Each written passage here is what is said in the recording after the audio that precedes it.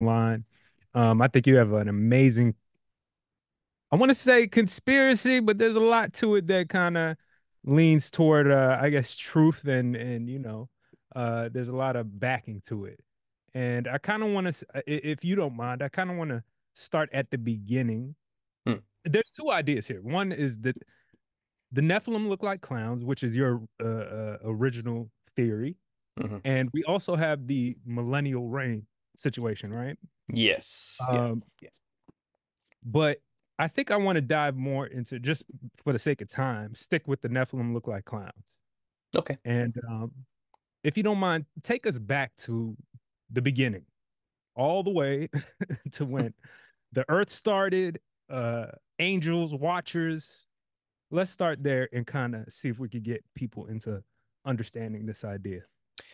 Yeah, sure. So, um, it's hard to know where to begin with this. I've I've done it thousands of times, and it still never gets any easier to to uh, explain this. But um, I'm not sure what context your audience would be coming from if they could understand some some basic things. So I, I guess I should probably just start with the basics at the beginning, just to give a good overview of what's going on here. Sure, sure. Uh, but I come from a, a, a world which is conspiratorial by nature, and uh, the, st- the the kind of work I've been swimming in for over a decade is highly seeped in in esoteric, uh, biblical, strange theologies and ideas and mysticisms and mythologies, and um, within that realm of research, I have carved out for myself this this strange niche within the already strange niche of conspiracy, which is um, these things people talk about, which are the Nephilim, which are Right. ancient giants of of a pre-flood and post-flood world from a biblical uh, narrative. Um, I have discovered that they would have had a, a very s- certain aesthetic about them, which I've gone through on my uh, series on my channel to prove um, through the artwork that's available and through the cult, uh, the cultures around the world who still venerate these things in the forms of ancestor spirits. They dress like them. And Right. what, what I've discovered is that these things actually had a very psychedelic, terrifying look to them, um, which involve very wide grins with sharp fanged teeth, uh, like a serpent mouth that opens very wide, so a jester-like mouth, very big glowing eyes, um, wild red hair, extremely pale white, vampiric white skin. It's not like a, you know, a northern England white boy like me. I'm talking like, you know, white, white, like Right, like right. deathly white, white, you know. And uh, it.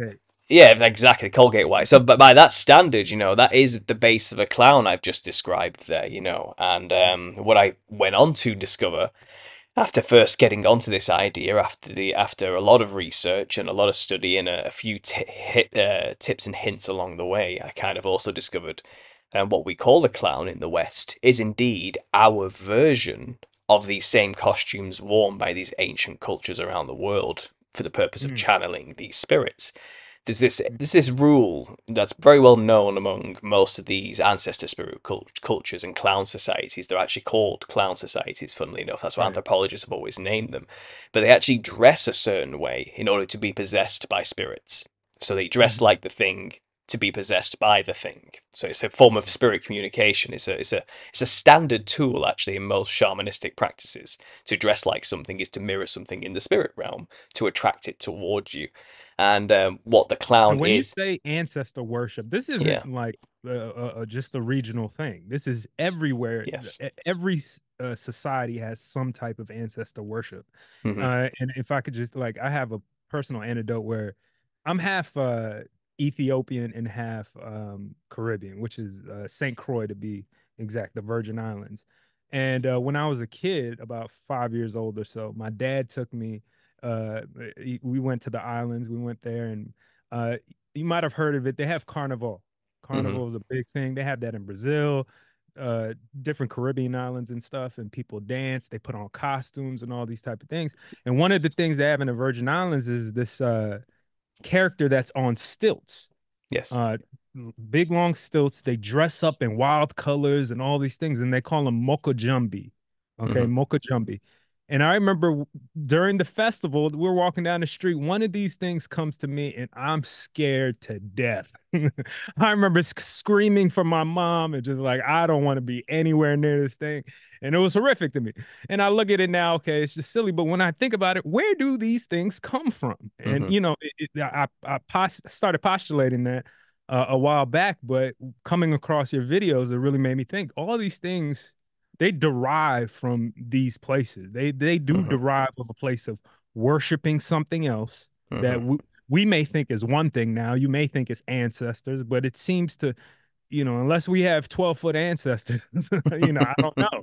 So, but continue. No, absolutely. And what what you're discussing there, um, you know, in the Caribbean, you have these ideas of carnival, which kind of European cultures and Christian ideas of fasting periods and a party before a fast. A lot of Italian carnival is quite a famous one as well with the Venetian masks. So yeah. what you get in the Caribbean, there's like a mix between this European influence mm-hmm. with with African ancestor spirit worship cultures as well. And there's many countries in Africa all with their own flavor of this. So don't get me wrong, but there's there's different ways they all kind of do this. Um, but right. the stilts is actually very common in African, especially in I think the mm-hmm. Dogon uh, cultures of Africa, which are a very isolated um, tribe that kind of got dominated by Islam, I believe, in Africa. Mm-hmm. But this they still remained with their ancient culture, and they kind of I think it's because they were in such an obscure place in Africa, which was hard to invade. That they kind of you can right. still see an example of this very old belief system, and walking on stilts is a part of their ancestor spirit worship dances and rituals, which actually yeah. go on for months. The specific rituals, and yes, they were bright pink, flailing coloured things, a lot like the carnival people wear with the feathered dresses and everything like yeah. that in like Brazil, for example, as well as another famous example in Rio. Um, so yeah, th- these are more. You think the twerking's a part of it?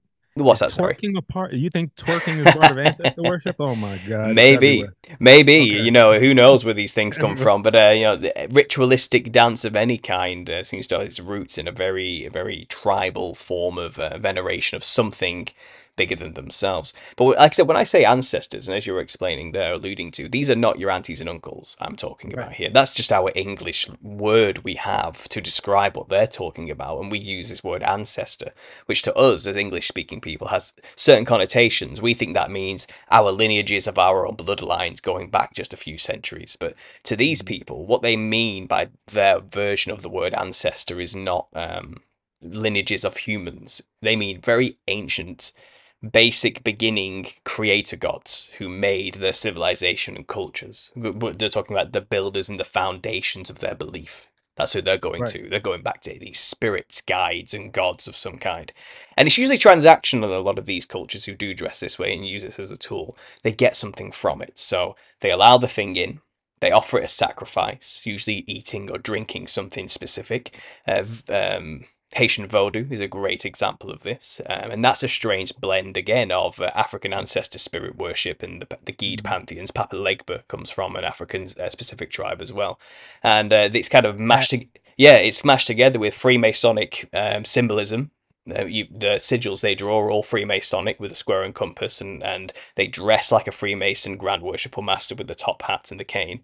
Uh, but it also has that strange blend of Catholic I, um, icon worship mixed in with it as well. So it's like a mm. blend of three odd uh, belief systems all slapped together into this Haitian voodoo, they called it, which is then spread out into certain parts of America as voodoo, you know. But voodoo is the basic form. That's what they do. They uh, they dress like Papa Legba with the white face makeup and the top hats, and um, this, you know, and then basically once they've been taking it in uh, and take the spirit of this this god within them, they drink rum and smoke cigars because that's what the god wants. It's not because they enjoy doing it themselves, and they even claim you know, they black out. They don't remember doing anything. The the, the spirit's got them, and it's, it's using it's because the spirit is living through them. Yeah, it's, completely taking over their body. Exactly, and it's in their senses. It's using their fingers, their taste buds, their ears, their nose, their eyes to experience the world because these entities, which we call demons, don't have bodies and this is where I can get into the history of the Nephilim now, and where we can go on to get into these cultures, so on. Sure. So,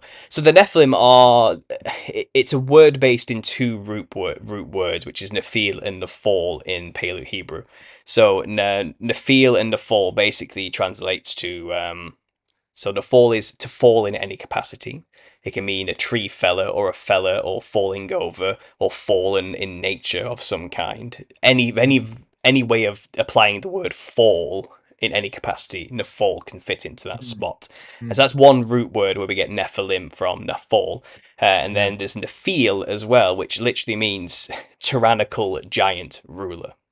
The, okay. That's literally what it means. So slap those two words together, you get Nephilim, which is the plural word for tyrannical giant rulers of a fallen type nature. So that's Nephilim as as a, hmm. as a descriptor. So it's described in the book of Genesis as there were giants in the earth in those days, and also after that, after the sons of God came into the daughters of men and bore offspring, the same men became heroes of old, mighty men, men of renown. Um, and then it kind of skips on from then and starts going on to talk about Noah and the flood. Um, right. And it, it's it's odd. It kind of just kind of breezes past this thing in Genesis, right. and it's just one paragraph you kind of get explaining that something weird happened and giants were created that were venerated as gods for a season. And then he goes on to explain the flood. And there's a link there, and, and I think Michael Heiser explained it as if it if it stands out and it's odd it's probably important. Okay, so we should look into that more. Right. And uh, the only kind of things we can find that expound upon this are extra canonical books. Uh, so the Book mm. of Enoch is where we have to go to find the story Genesis 6 is referring to. Because uh, it's kind of written Genesis and the whole um, Torah, the early te- uh, Old Testament, that, that big thick book that we call the Old Testament, yeah. is a very specific story that's trying to specifically tell the story of um, a, partic- a particular bloodline. So it's all about dates and names and when they were born, who begat yeah, who begat who, and, and whose son was who, and who created what right. nations. It's it's like a list of lineages, and then rules when it gets down to Moses, and mm-hmm. it's kind of like a God forming a peoples for himself to call his own in order to bring himself into the world, and it's all precursors to the New Testament, which is the Savior, which is the coming of Jesus Christ. That's all kind of what right. it's leading to to save Adam the promise to Adam that he will redeem him from his fallen state because there's a war going on. So we talk about the rebellion of the angels. Okay, everyone knows about the fall of Lucifer. This seemed to happen around the same time these giants ended up being created and when uh, Adam got kicked out of the Garden of Eden, and it seems like there's this long period of time before the flood where everything just got really, really, really messed up on the on the earth, and we're like talking the worst possible time to ever be alive. We think we have it bad now. This is this is worlds apart from how bad things can actually get if we allow them to, and this is obviously what caused. We're talking like Lord of the Rings type of stuff that was that yeah. that's going on back then, essentially. We're talking like flesh eating giant monster oh, chimerid hybrid snake being things just mm. tearing people apart and drinking the blood and sacrificing the children and just just monstrous, horrible things. Genetic engineering, the mixing and blending of flesh to create monsters. It was just chaos, absolute chaos. I've been to frat parties that are worse. oh yeah, maybe, uh, maybe, but uh, th- this was one long frat party. Let's put it that way. That that um, had no hope of of of ending until God's mercy was given to us, and Noah was set apart as the only person left uncorrupted basically. He's described as being perfect in his generations. That's not not just being a really good guy who kept all the laws. It is that. Right. it's also right. he's uncorrupted. He hasn't messed with his dna he's still hmm. human as god intended from adam.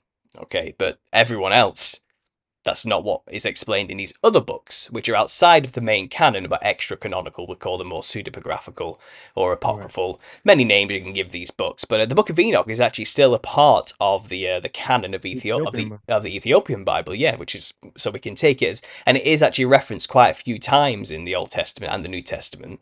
It does mm-hmm. seem like the Book of Enoch is well known even to the apostles and to the people who were writing these other books. You know, it it was correct like. Correct me if I'm wrong. Was that the was that found in the uh the Dead Sea Scrolls? Was that a yes. part of the Dead Sea Scrolls? It was discovered okay. in I think 47 of 1947 I think it was around that okay. time. Um funnily enough around the same time period Israel was being established as a nation. So there's a lot of stuff go around the discovery of this which is quite odd.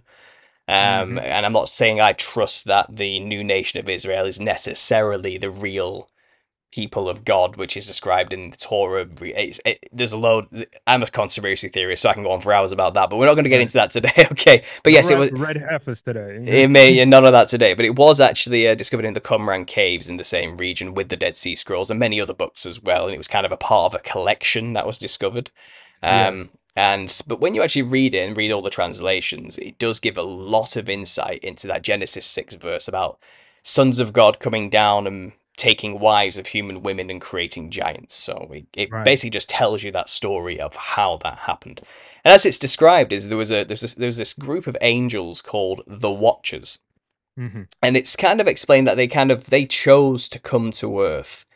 A lot of them with good intentions to watch over humanity and make sure they stay righteous and understand God and stay connected to the way He wants them to live. But the leader, Samyaza and Azazel, there's arguments whether they're the same angel, just by a different name, or they're two separate angels, but are both corrupted and working together as leaders of these 200 angels that came down to Mount Hermon. Um, it seems like Samyaza was fully on board when he came down to completely mess everything up. He was in rebellion. And don't forget, Lucifer was also in rebellion against God at this time. Uh, Satan, many names you can go by. Beelzebub is another name. But either way, So he, it, it, it's never that Shemyaza gets confused with Lucifer either. Uh, I've always thought that maybe they could have been one and the same. a lot of people, yeah, it's blurry. It's very blurry. It really is. Either way, Um, they can make the ultimate Marvel villain. I'll tell you that right now. That, that Yeah, yeah. Shemyaza sounds crazy. I think it's- I think it's either Samyaz or Azazel, which translates to "he who hangs on Orion's belt" or something. It's really odd, like. uh, But angels are often associated with stars as well, and Right. even Beelzebub is associated with Venus, and so is Lucifer, the, the the bright and shining morning star, which is Venus, the brightest star in the sky, next to the sun and the moon. Obviously, it's the third brightest body. So people Hmm. obviously equate um, angels with stars. You can get you can get into the semantics of all that and the details, but the story goes that the leader of these watchers came down and convinced the rest to take wives of the beautiful humans that were around of the women. They they, they kind of came down in the flesh to teach humanity righteousness, but then succumbed to the the pleasures of the flesh. Basically, they got corrupted themselves in a way, and they gave in to those urges that otherwise angels wouldn't have.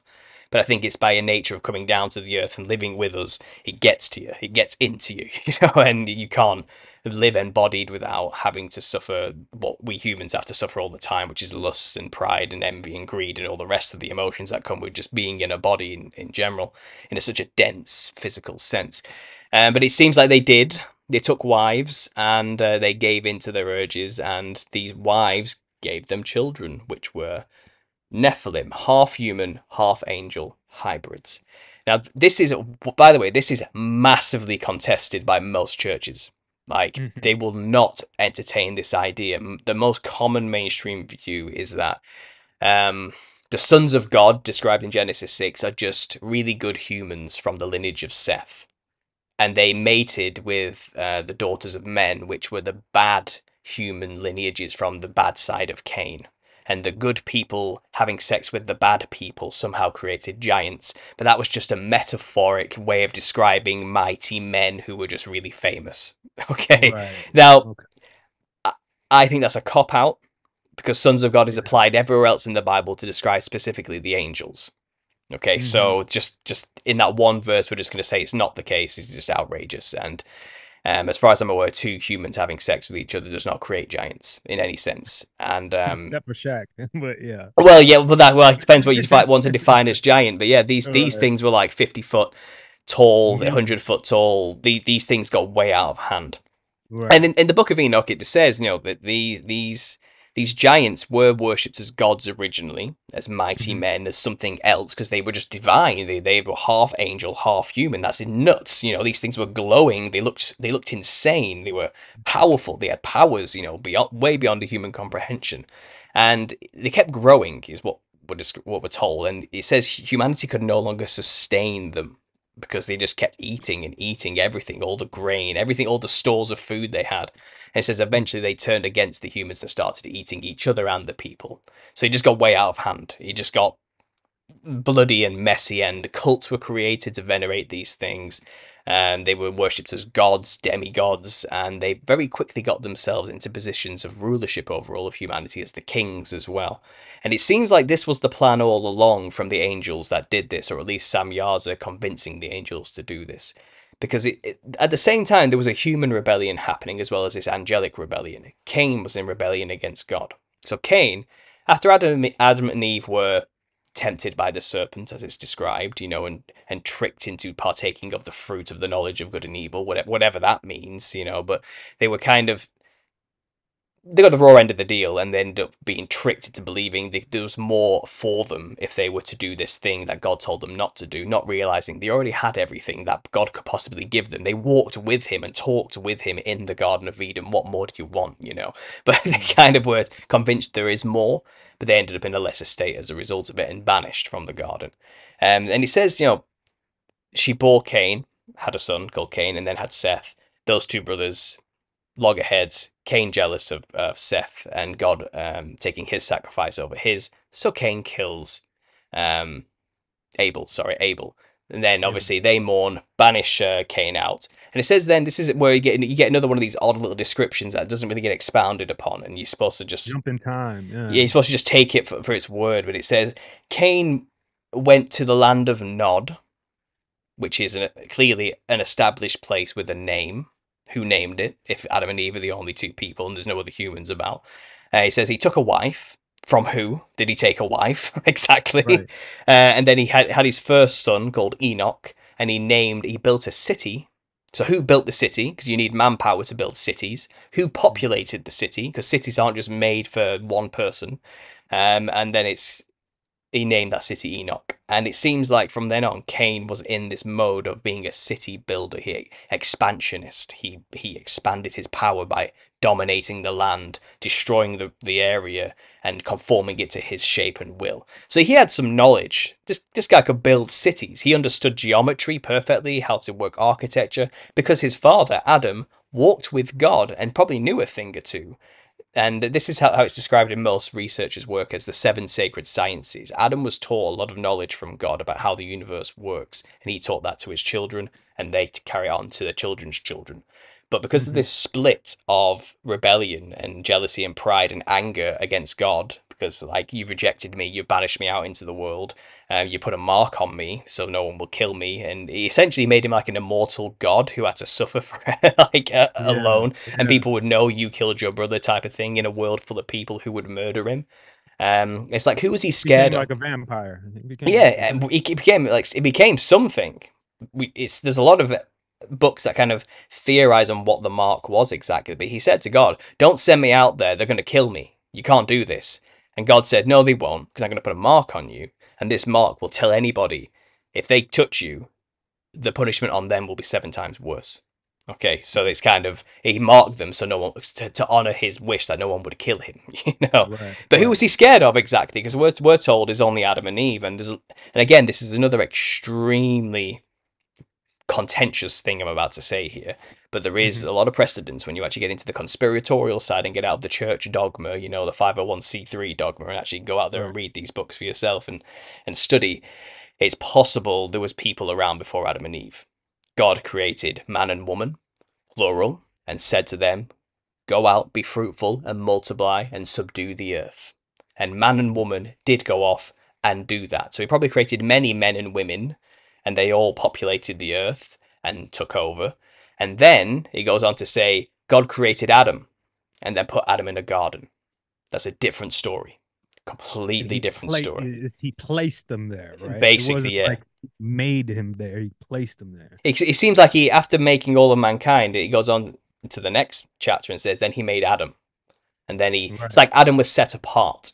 And it's like basically he said, I, I made him in my image to teach him everything so he could be the king over the mm. earth that he's created for his creation, which is humanity. Now, this is where the rebellion comes in from the angels. The angels didn't like this.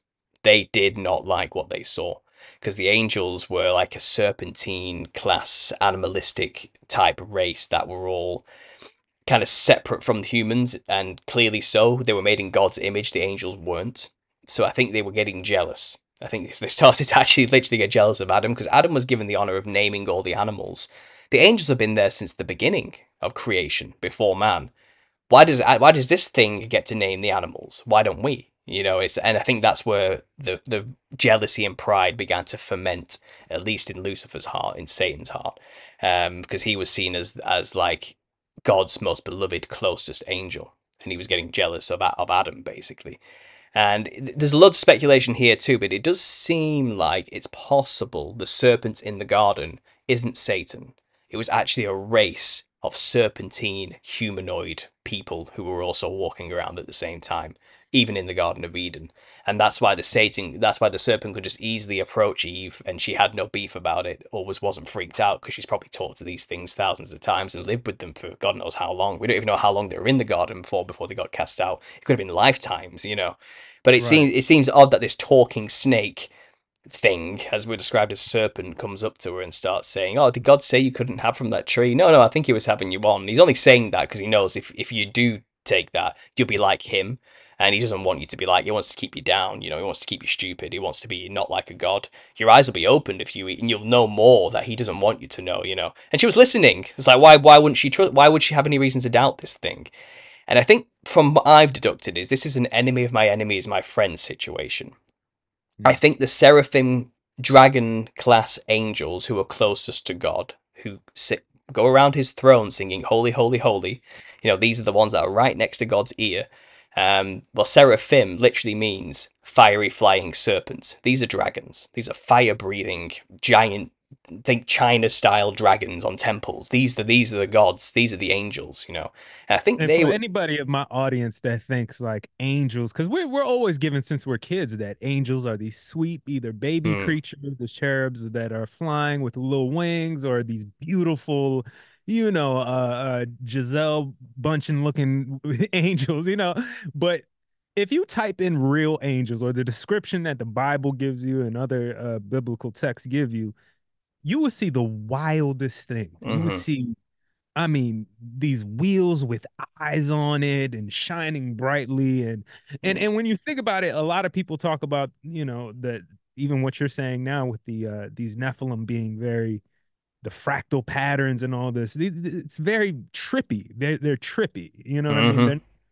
The, the, the divine, it's very possible that the divine is trippy in nature. Like it's kind of like a it's very surreal and the creatures that come from that from god that he created are more fantastical than we can even imagine so oh yeah well the um, well the, the ezekiel's vision is the best example we have of of a glimpse into the thrones of god and heaven and literally the, the thrones are a type of angel you know and they have right. like and and you have these these things with huge wings that hold up the firmaments that are literally a part of creation they are the pillars of the foundation of our world and our universe you know and right. angels have an intricate relationship with creation itself. They're like the cogs that make it happen. They don't mm-hmm. make they aren't they aren't the creators of reality, but they're like a piece of the machinery of reality.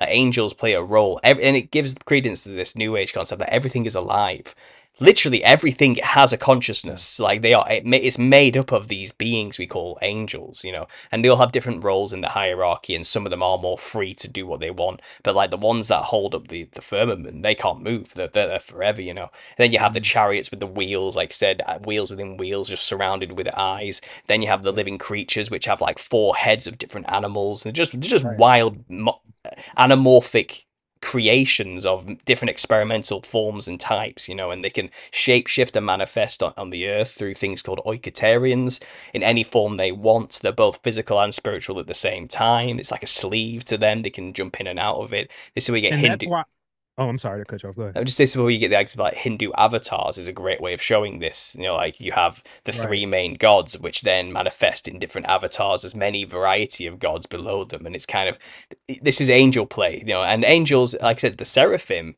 seem to be like a specific class of angel who were closest to God, who were dragons, basically that's their form, you know. That, and even China's rife with dragon mythology being involved with working with the Jade Emperor, who is their analogy for God, you know. And they're like water elements and fire elements, and they're, they're like involved with certain parts of creation, like the sea or the volcanoes or something. Like, and they're kind of stuck there. And this famous story of it in of the Jade Emperor where um, the people were dying of drought and they were calling up for help, and the Jade mm-hmm. Emperor was ignoring them so the dragons left the places where they should be to go to the Jade Emperor to ask for help for the people. Can you bring them rain? You know, and the Jade Emperor was distracted, but it, by music or something like that. And he said, "Yeah, yeah, yeah, yeah. I'll, I'll sort it out. Go, go, go. You're fine. You're fine. Just go. I'll sort it out." You know. And the, but his the first thing he said was, "Why have you left your estate?" Why why you why are you not where I said you should be? You Mm. know, he seems Mhm. pretty pissed off that the dragons have left the sea, for example. These are water dragons, you know. Right. It's like, why aren't you in the sea making sure the sea works? like, like, why aren't you being the cog in the machine I designed? Type of, that's what he's saying, basically. But he says, go back, I'll bring rain to the people, don't worry about it. But then months pass and nothing comes. So the dragons go back to the Jade Emperor and see that he's still distracted. So they say to each other, let's give rain to the people ourselves. You know, let's just do it ourselves. We're water dragons. So they do give people the rain.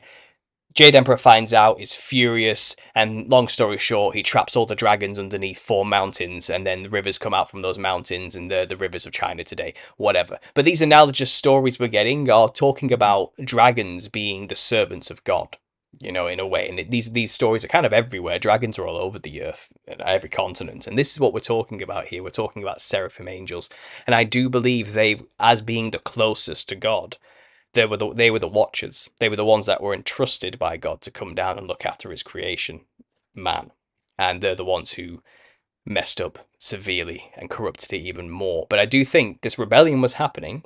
Cain on one side, rebelling against God, wanting to just destroy his creation, subdue the people that were already there, dominate, destroy the, the earth, the forests, build cities, you know what I mean, which is quite a domineering, industrious way of thinking. It's described in other books that he introduced weights and measures to the people. That's insane. To us, it seems simple.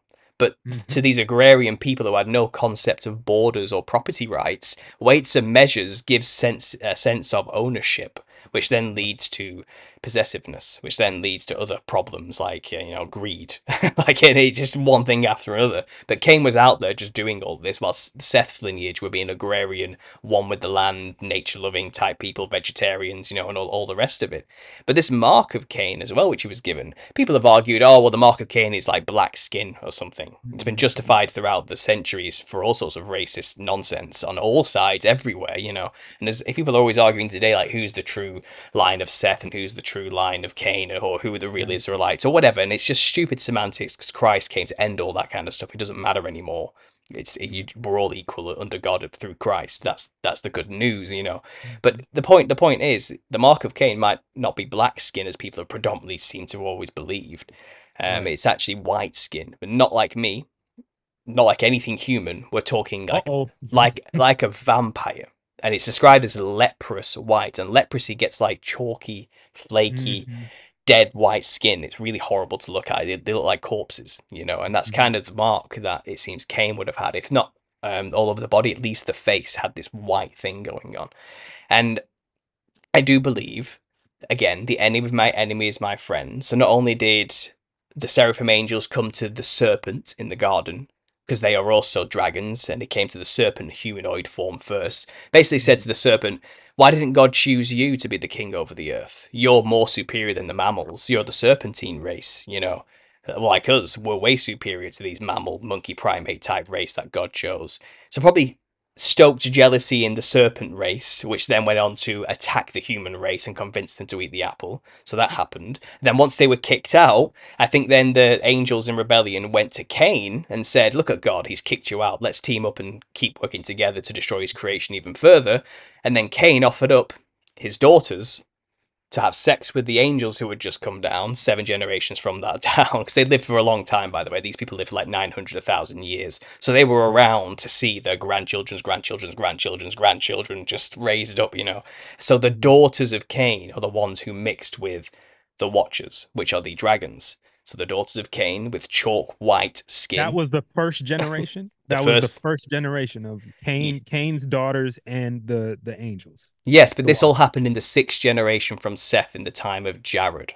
Okay, so Okay. there was a uh, there was a, a six generations from Seth where it was just Cain doing his thing, dominating, building up, and these and became a warring, powerful nation. And it, it goes on to say, you know, how like a lot of like Lamech and Tubal Cain were like master artificers of building weaponry and things like this. They were a warring people. They were a dominating people. You know, Seth's lineage not so much. They were more peace keeping the peace, keeping their distance, separating themselves from things, being one with the land. It was a completely different, just two different paradigms, you know.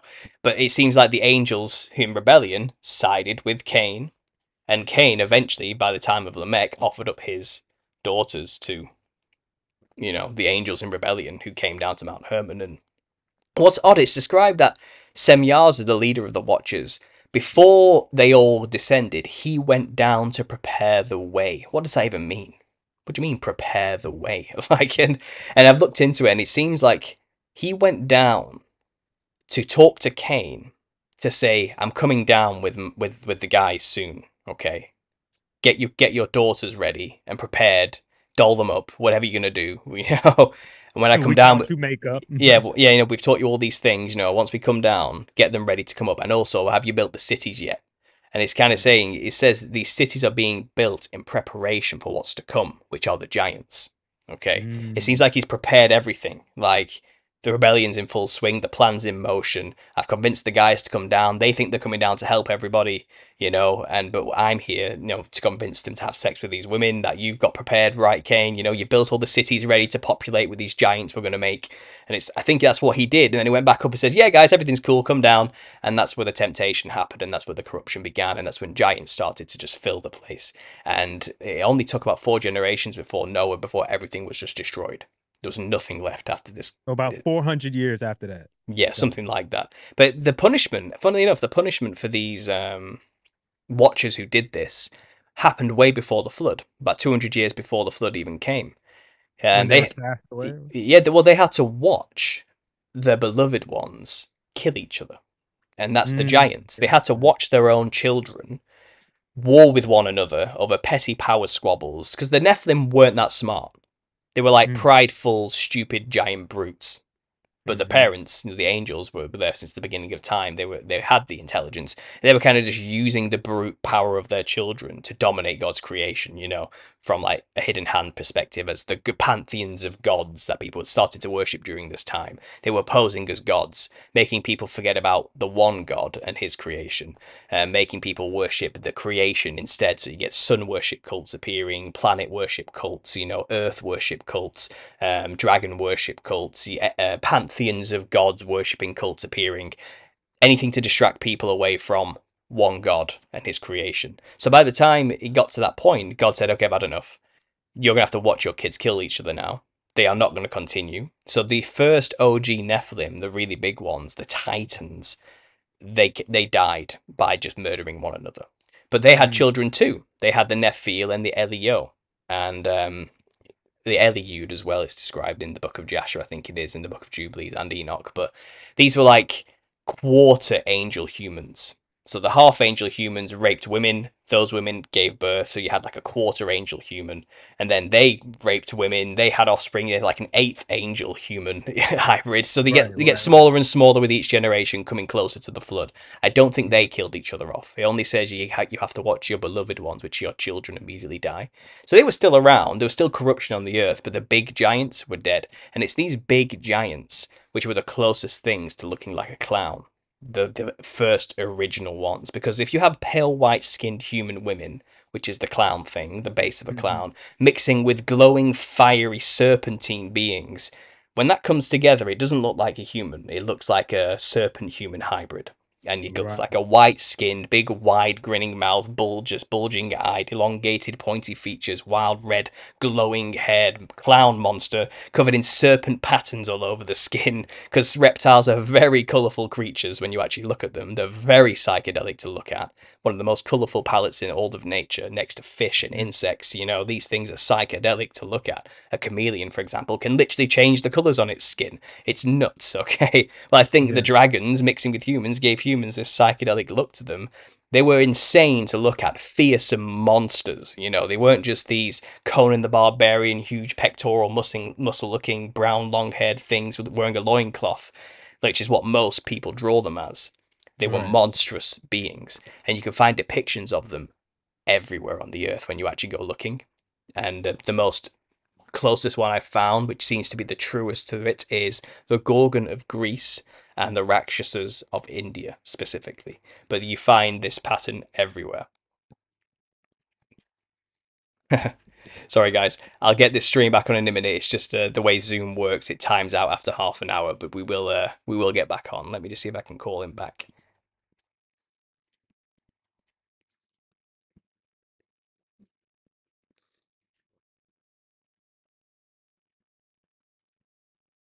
I assume when it comes to his stream, uh, none of this will happen. He'll he would have sliced it all up. Um, leave that meeting.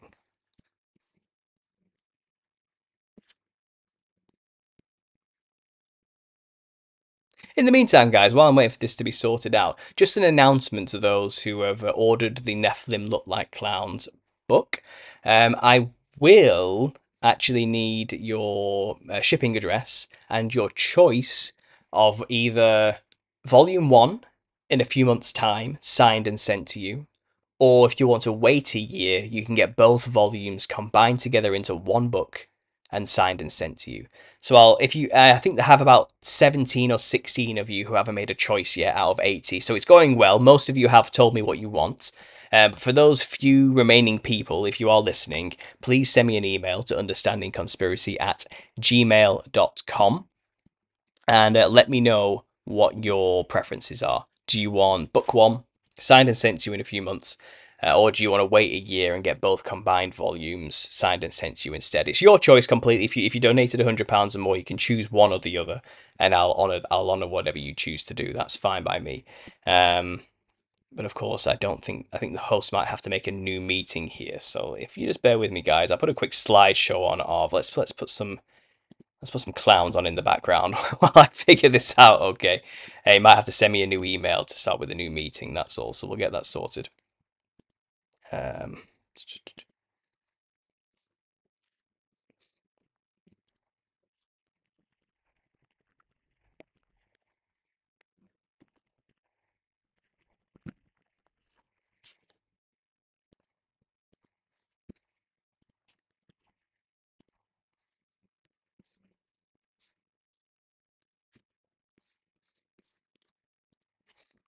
But yeah, guys, it's actually going quite well with the book. Um, I am just about to write the conclusion now, and then I'm going to spend a month and a half just doing a full proofread. Um, I've got all the software necessary to do this, so I can give it a proper thorough run through, get it all up to scratch. I've actually almost finished the book cover as well, which I'm quite excited about.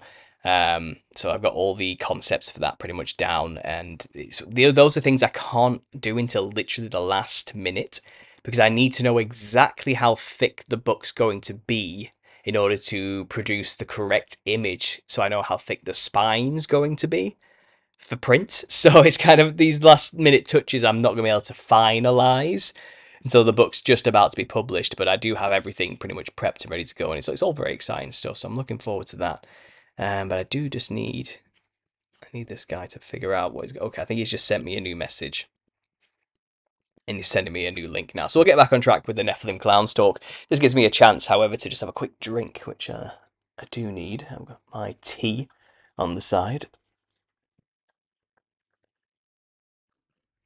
Yeah, because I, I, I uh, tend to intermittently fast after like 6 p.m., 5 p.m. most evenings, and I found that herbal tea is the best way to still be able to keep the fast going and have something with a hint of flavour. It's got to be things like chamomile tea or low low sugar tea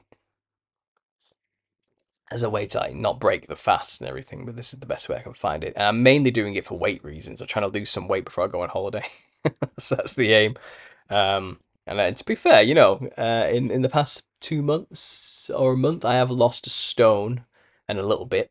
Uh, so it's going the right direction, but not as fast as I would have would have hoped. Let me check here. I think he may have just sent me a link. I think that was that's what that was. Just refresh.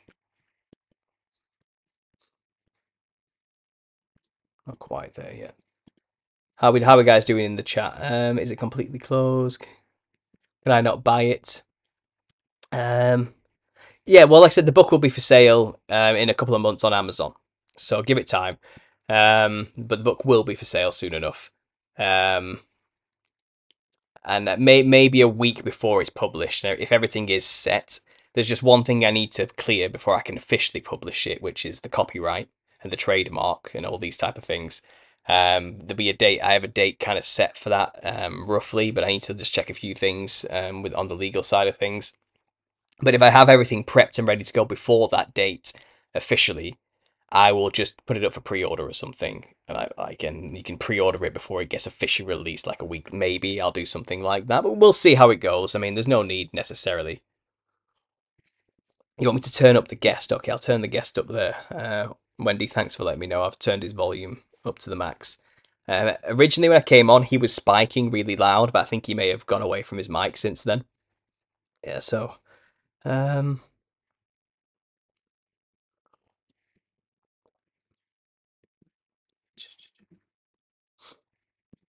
quick carbs and sugar, you'll drop it fast. I lost 10 pounds in a week. Yeah, well, I actually, um, I did go on a full sugar fast for like a month. Um, and I broke it a little bit recently. I'm not going to lie. E- uh, Easter kind of got the better of me because there's just been chocolate everywhere. I don't have heart anywhere near as much as I used to have, though. I will say that much. Um, but I have, um, yeah, have been uh, heavily fasting more so. I did a 24 hour fast a couple of days ago as well, and I always do a, a at least an 18 hour fast every day. Um, I just find it works best for me anyway. I don't deal well with eating in the evening. My body doesn't seem to be able to process it very well overnight. And I always wake up with like severe pain in the stomach and things. I think my hemochromatosis might have something to do with that. I'm not 100% sure.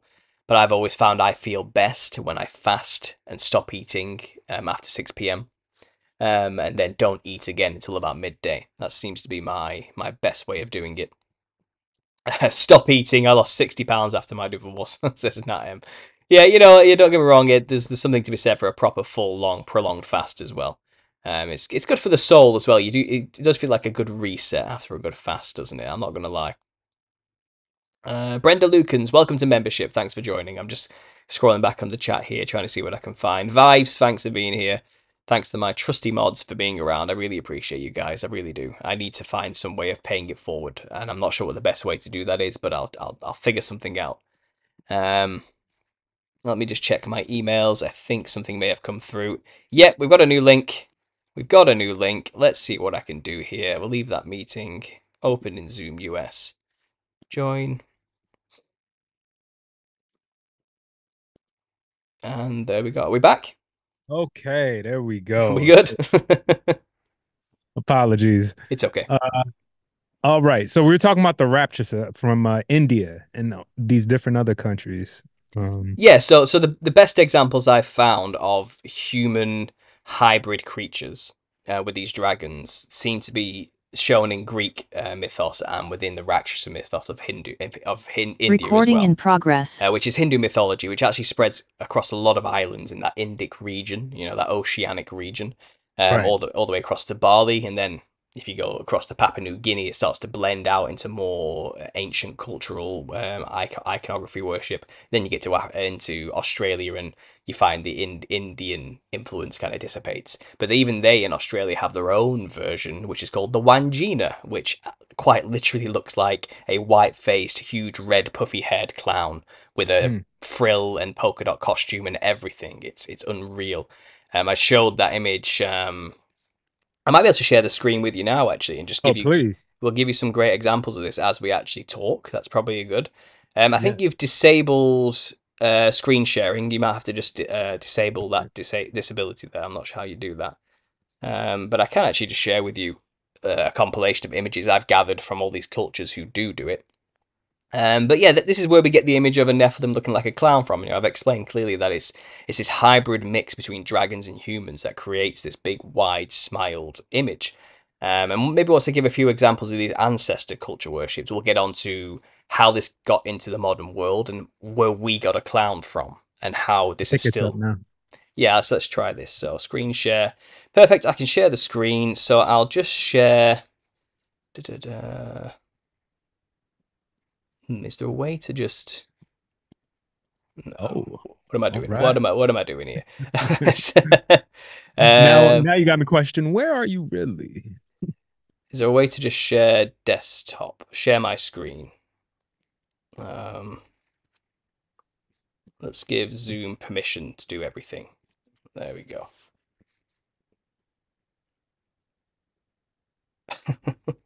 You know what's crazy? Watching your videos made me think about also some of the.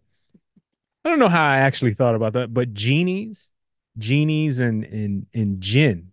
I don't know how much you've looked into that, but I I saw an article uh, when I looked it up because I was thinking about Aladdin and some of these ideas that get put into our kids, uh, put in put into our brains since we're kids Hmm. about releasing something. Right? You're, you're talking about what the genie seems like a friendly ordeal, some, whatever type of magical things, gives you wishes and all this. But at the end of it, the idea is to free him, you know, free him from whatever wherever he's confined from.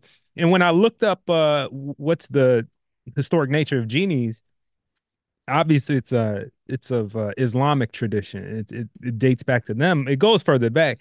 But one of the things I saw was it said that genies were beholden. The only thing genies were beholden to their kings were angels.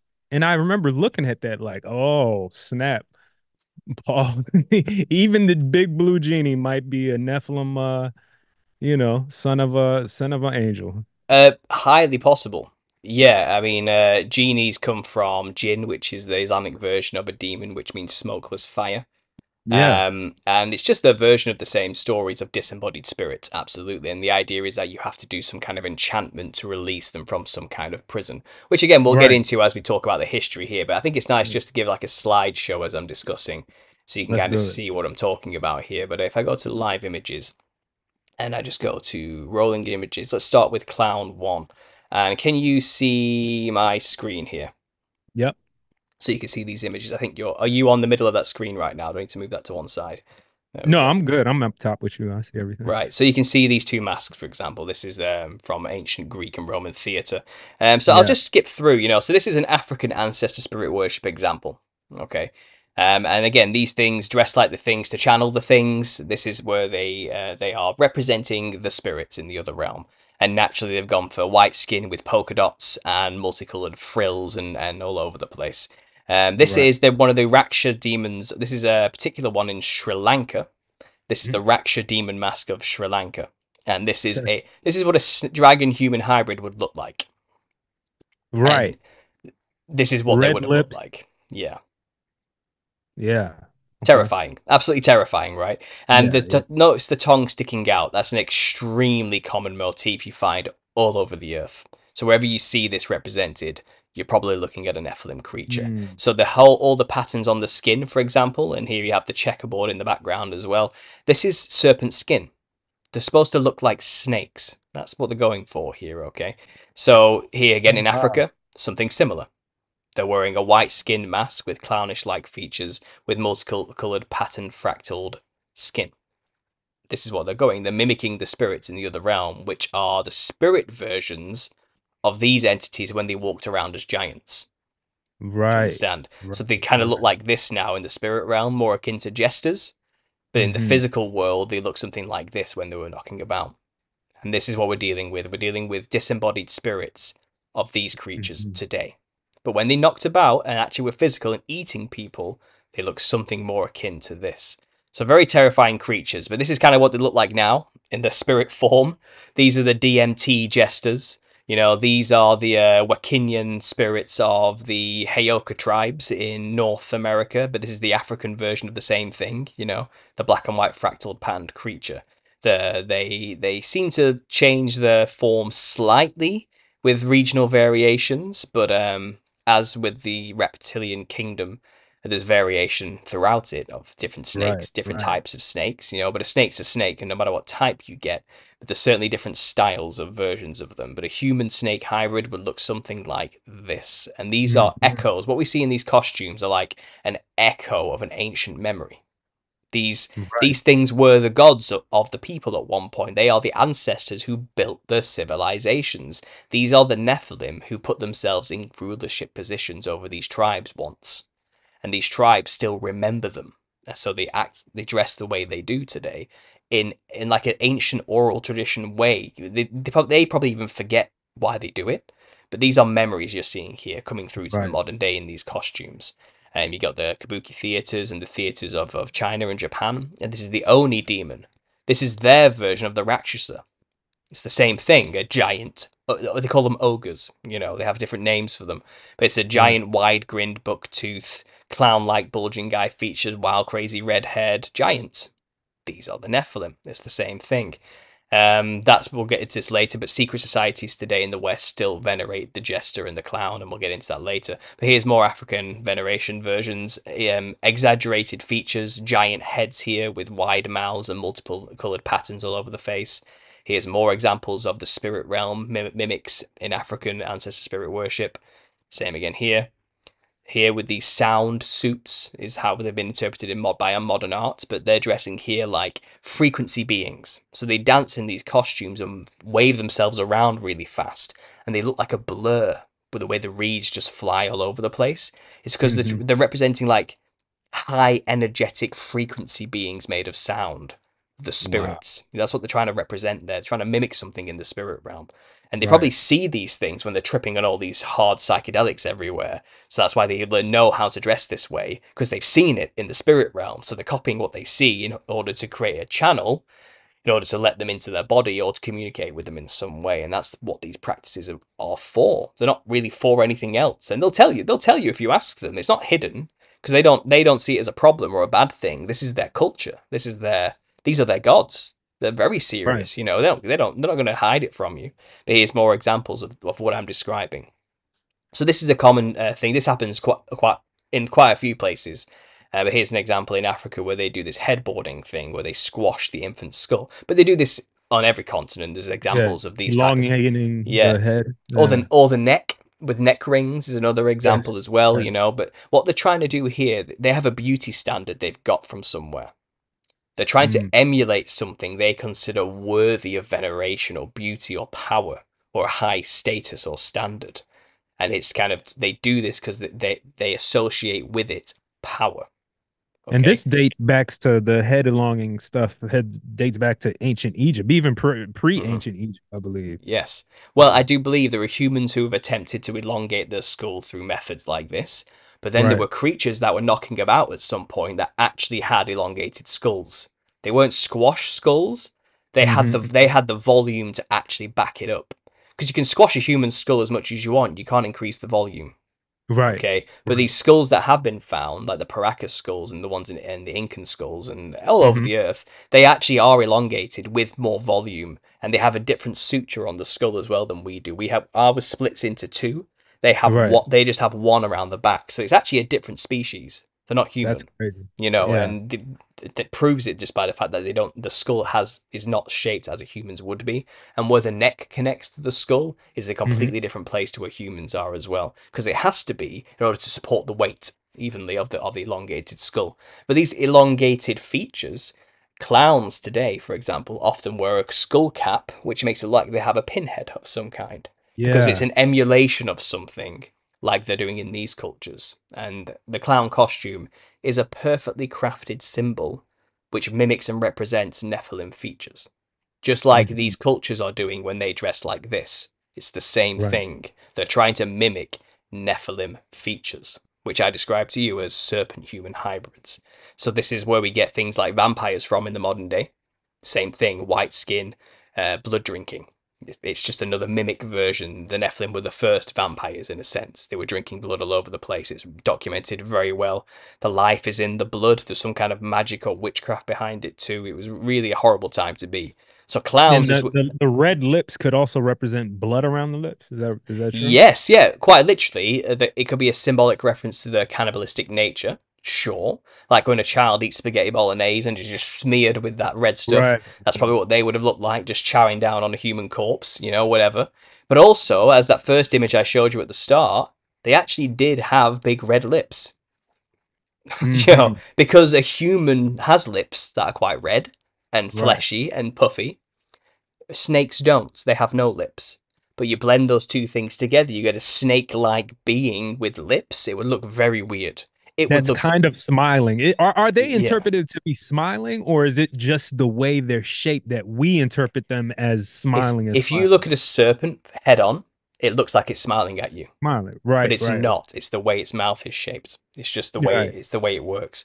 So like when pit bulls look at you, they kind of have that yeah, smile. yeah, yeah. But it's not. It's just by the nature of their wide maw. Because uh, serpents dislocate their jaws to eat prey, I imagine Right. the dragons could do this too, and so could the Nephilim. You know, they could open Mhm. their mouth really wide in a very terrifying sense. You know, think of like the ring, for example. You know, when they die, they have their mouth like wide open or something like that. Mhm. I think that's probably a hint to all these things as well. But uh, the Shriners, well, I'll just give you a hint here, are a, a step above Freemasonry. Freemasons were the ones who created the costume of a clown. It's well within the society, secret societies, and the Shriners, which are supposed to be an, an Arabic themed sect of the of the the craft. For some reason, they all dress like Western clowns. They have a sect within each shrine that is dedicated to dressing like a clown, um, and, and that's odd. Why? Well, my research kind of makes it clear. It's because it's their gods. They're in communication with these demons still Right. today. It never stopped. This is just their way of publicly doing it without us realizing it. So they created the clown to mimic the costumes worn by these people, you know, for the same purpose to channel the spirits. But they do it publicly without us realizing it. So here's an example of the Sri Lankan demon, okay? This thing has a weird story. Uh, this thing basically was the son of a king, okay, who was Mhm. abandoned and chucked away because he looked like this. And the king said, This is not my son. Okay, you've Mhm. cheated on me. My wife has cheated on me. Okay, this is not my son. You got Uh, her Nephilim on, huh? Yeah, well, well, the funny thing is, if you go to Greek mythos, the gods, which is the pantheons of that of that region, you know, Mm. of Zeus, for example, and all the rest of them, well, these are angels Right. taking human form, okay, who have resided over humanity as gods, and they see people as their playthings, you know. Well, mo- the Greek pantheon, you're saying, could be interpreted as they were the angels, a part of the Watchers. the Like, rebellious angels who took human wives and mated with them, and they did. The many stories in Greek mythos are literally of the angels raping human women in many Right. sneaky ways, often taking the forms of things forms of different things. to to deceive them. And guess who they always went for? They always went for the the queens or the daughters of kings. Why? It's because they're trying to birth legitimate heirs to thrones and kingships. They're usurping the thrones with their seed, their serpent seed, their dragon seed.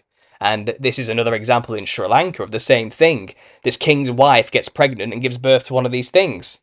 And the king's like, this ain't mine. like, where did this come from? You know, and it's the same the same thing was happening in, in Greece. Maury, Maury. Yeah, you know, the same thing was happening in Greece story mythos as well. The the gods were always coming down and raping the wives of kings. In one story, Zeus quite literally for two weeks is the king. He makes himself look like the king and sleeps with the king's wife for two weeks straight without her ever realizing it. Until he returns back on official business, you know what I mean, and he clears off. Uh, Yeah. But this is what they're doing. This is the modus operandi. This is an agenda. There's a plot here. They want to get legitimate heirs who have a, a, a right to claim the thrones, officially speaking, into these positions of power. And this is where it began. and this is and So this. there's no way there could have been a, a, a just a thought like, oh, these angels came down here and saw these beautiful women and wanted to have sex with them.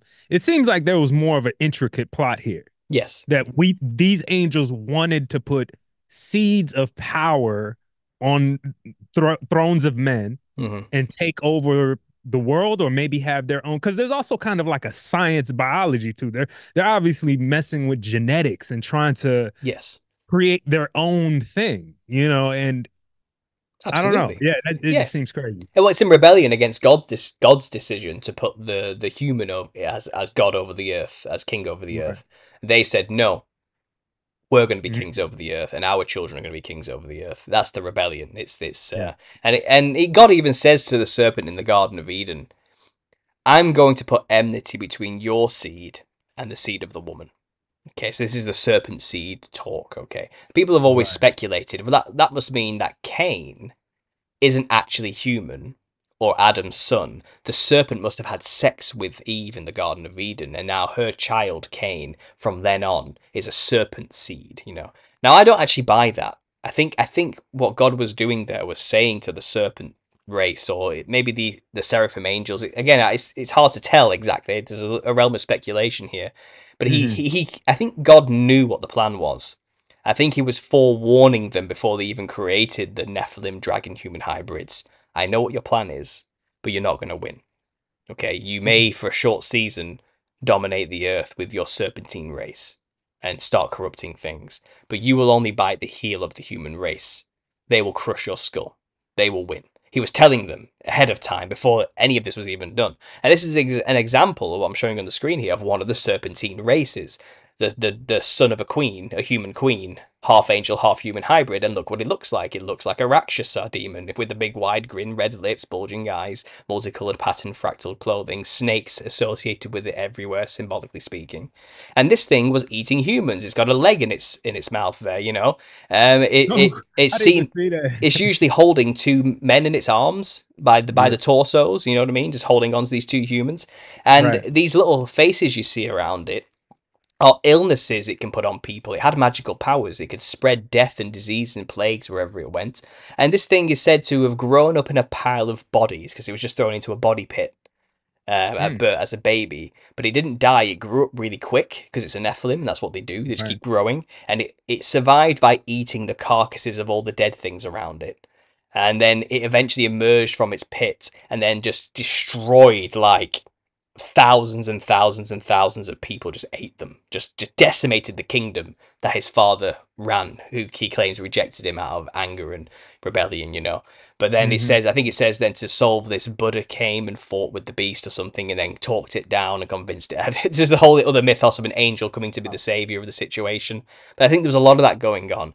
I think there's a lot of angels create Nephilim, Nephilims cause problems, angels come and offer the solutions. There was a lot of that going on to make the angels out to be the saviors of mankind.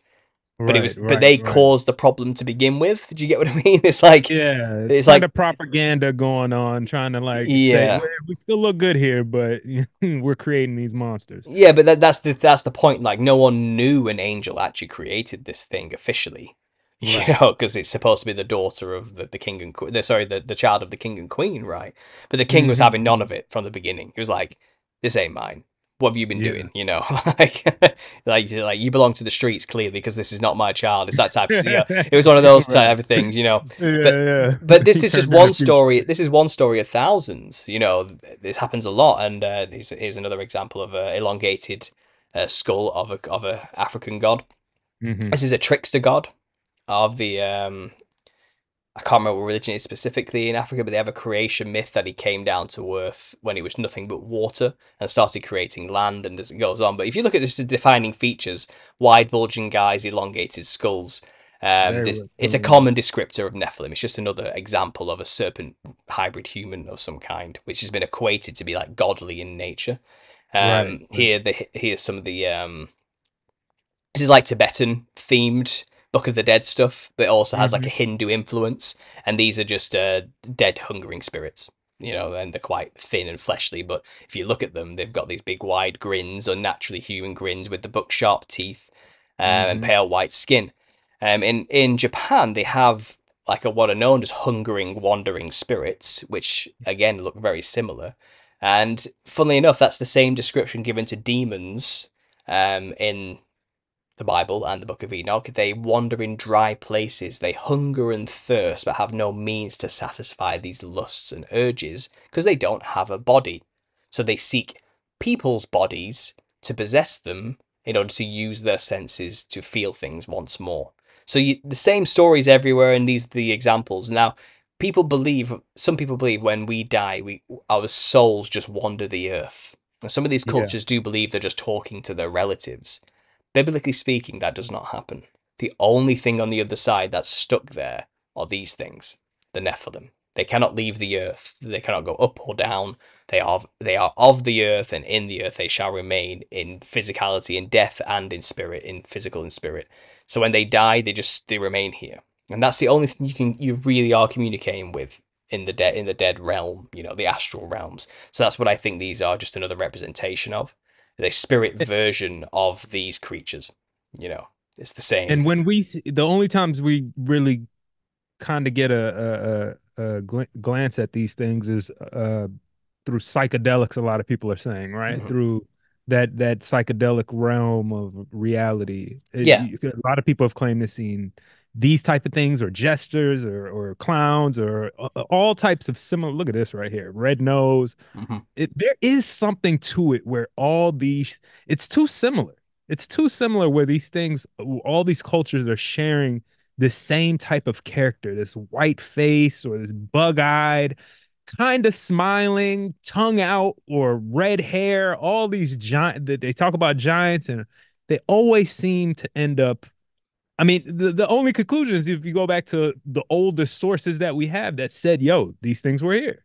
Exactly. You know, Exactly. and Yeah, they just go by many names. So a lot of people have always equated their specific culture to be unique against everybody else's because it's it, it's kind of regional, you know. And why would they know about any anybody else's culture necessarily? But when you actually start pattern recognitioning all of them, you realize they all have very similar stories with very similar characters with very similar physical aesthetical features. And again, this is the Selknam tribes of the South Americas, right at the tip of South America and they're dressing in these polka dot black and red and white patterned psychedelic clothings, just like you saw the African tribes doing earlier. You know, um, Mhm.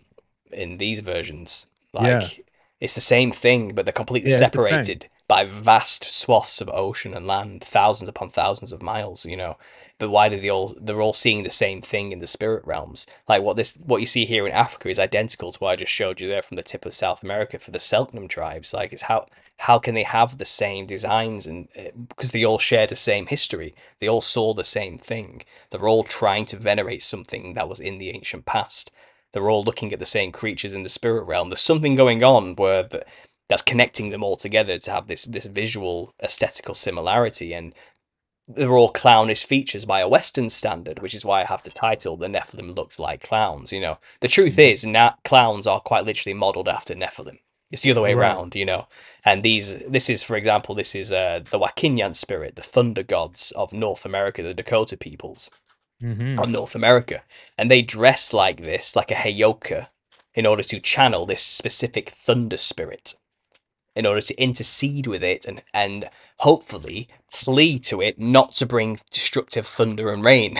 okay, and they're hoping to dress like the thing, to channel the thing, to talk to it, to tell it mm-hmm. not to bring destruction upon us. That's the aim of the heyoka. And then they also take on a, sh- a shamanistic spiritual leader role as well within the tribe, where they are the ones who are in connect in connection with the spirits, but they also act as contrarians to to teach people about things about the societal norms they should follow. So they're also seen as clowns in a sense as well, because of their Mhm. contrarian nature. And these are called Right. clown societies in the North America, but um, th- there's just too many similarities in every culture. I'm going. I'm I'm showing you a vast swath here in just these few images alone of very different cultures. You know, with different histories and stories, but they all share the same theme. You know, look at this polka dots, white Mhm. skin polka dot patterns, elongated skull cap there. Um, this is back to Papua New Guinea. Same thing. They're trying to emulate something with this headdress. You saw the red nose one earlier, didn't you? Yeah. And that's also Papua New Guinea. Red feathered headdress, wild red hair with a red nose. It's it's there, you know. Um, it's just the versions of clowns. This is um a particular clown spirit as well in in in um in Japan. And again, I think snakes come in all sh- forms and colors and sizes, so we will see variations. Okay, but there's a right. reason why this the why they are the way they are is what I'm saying. Uh, again, this is a Rakshasa representation of India. Another example there of an Oni. Back to Papua New Guinea. I mean, if you watch a lot of uh, anime, I mean Japanese, they they constantly have either uh, these type of creatures or Mhm. literally clowns as bad guys. Yeah. You know, similar to the. I was watching this one anime called Hunter Hunter, and one of their main like powerful evil villains is this jester clown looking guy that you know has his does t- some type of sorcery or something, and I'm like you know there there's something to this they, Uh-huh. they keep showing us or they people remember it subconsciously or it's just in our the ethos of our cultures or something but Hmm. it's interesting Well, this would have been the mark of Cain here, for example. This is what I'm talking Right. about. This is how these things Right. would have looked, the humans at the time, you know. Um, and when you max, mash that together with a dragon, you get something that looks like maybe this. You know, right right it gets a bit wild. It gets a bit weird, you know. Um, you go from being ashy to a dragon yeah, but here's Papua New Guinea again, a very isolated cannibalistic tribe in Papua Mm. New Guinea, and they white the face up and put red on the nose with polka dots. These are clown aesthetics by our standards in the West. Okay, this is where even they the cone hair type yeah. of the This is hair so when we made when the Freemasons formed the clown, they were looking at these cultures and copying them. This is what they're doing. And that's so, you know, this is where we get it from. It's a mimicry of these cultures. There's Monsters Inc., interdimensional demons who feed off the energy of fear of people and laughter, which is what a clown does. It induces either fear or laughter in people because they feed off that type of energy when you're channeling one of them. So I thought that was quite funny.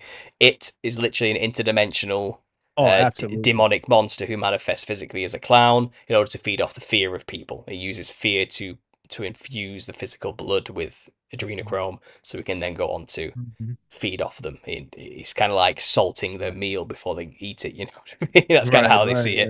Um, and I thought it's interesting that they incorporated a clown into that as well. Stephen King probably knew all this. He's probably an insider, and he has nothing, no new ideas of his own. You know. Absolutely. Um, but here's that same cannibalistic tribe. I'm not sure if this guy knows he's in, he's in serious danger or not, but you know, they have the white face, uh, red nose thing with the polka dots. Doesn't know how delicious he looks to them right now. yeah, exactly.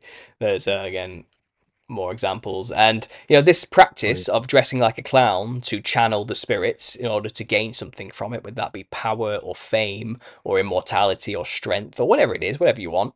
Uh, the music industry know this, and they use this to their own advantage. All artistic industries use this. The secret of the industry is dress like a psychedelic clown monster, and you probably will get famous and rich. You will be elevated um, because the people who rule the industry are in the game of finding people who dress this way and putting them in positions of veneration in front of audiences so more people copy them. The more people you can get copying these idols who dress like clowns, the more channels you're opening up. So it's a, it's Mm. quite nefarious when you see it on the surface, but you'll Mhm. find the more famous these people get, the more they start to look like a clown. The whiter the skin gets, the more colourful the clothing gets, or Yeah. hair, the redder their lips get. It's because they're, u- they're utilizing something. White skin, red lips, multicolored hair is a channeling tool. It's, Right. it's an right, occult right. practice. Okay, it's a, it's a it's a magic. It's witchcraft at its finest form, and these people know it. And it's it's a it's a part of the higher up knowledge. It's the wisdoms they get taught, and uh, you know makeup. You have to be careful about what you do with makeup and clothing. It's not. It's Mhm. actually very serious, and we don't think this way in the West because we're not trained to see it that way. And uh, funnily enough, most of our versions of the Nephilim in Europe we call the Wild Man. Um, Yeah. We think we dress this way to scare away evil spirits. Just like Halloween, it's the same principle. You're dressing like things to confuse them, you know. Um, But Mhm. who's right? The culture who dress like these things for thousands of years to be possessed by them, or our cultures who dress like this in the past 200 years to scare them away? It's probably the ancient cultures who are channeling them by dressing like them. It's a very naive view to think that dressing like a demon is somehow going to scare it. I think it's Right. I think it's foolish, and a lot of people do not like me saying that. They get offended, but I'm allowed to have an opinion, and the evidence seems to show that dressing like the thing opens up a channel to it. It doesn't scare them away. So it's it's a it's a foolish practice if you if you do want to take it from me, you know. But here again, another example of polka dot skin. Uh, children being utterly terrified of clowns by nature.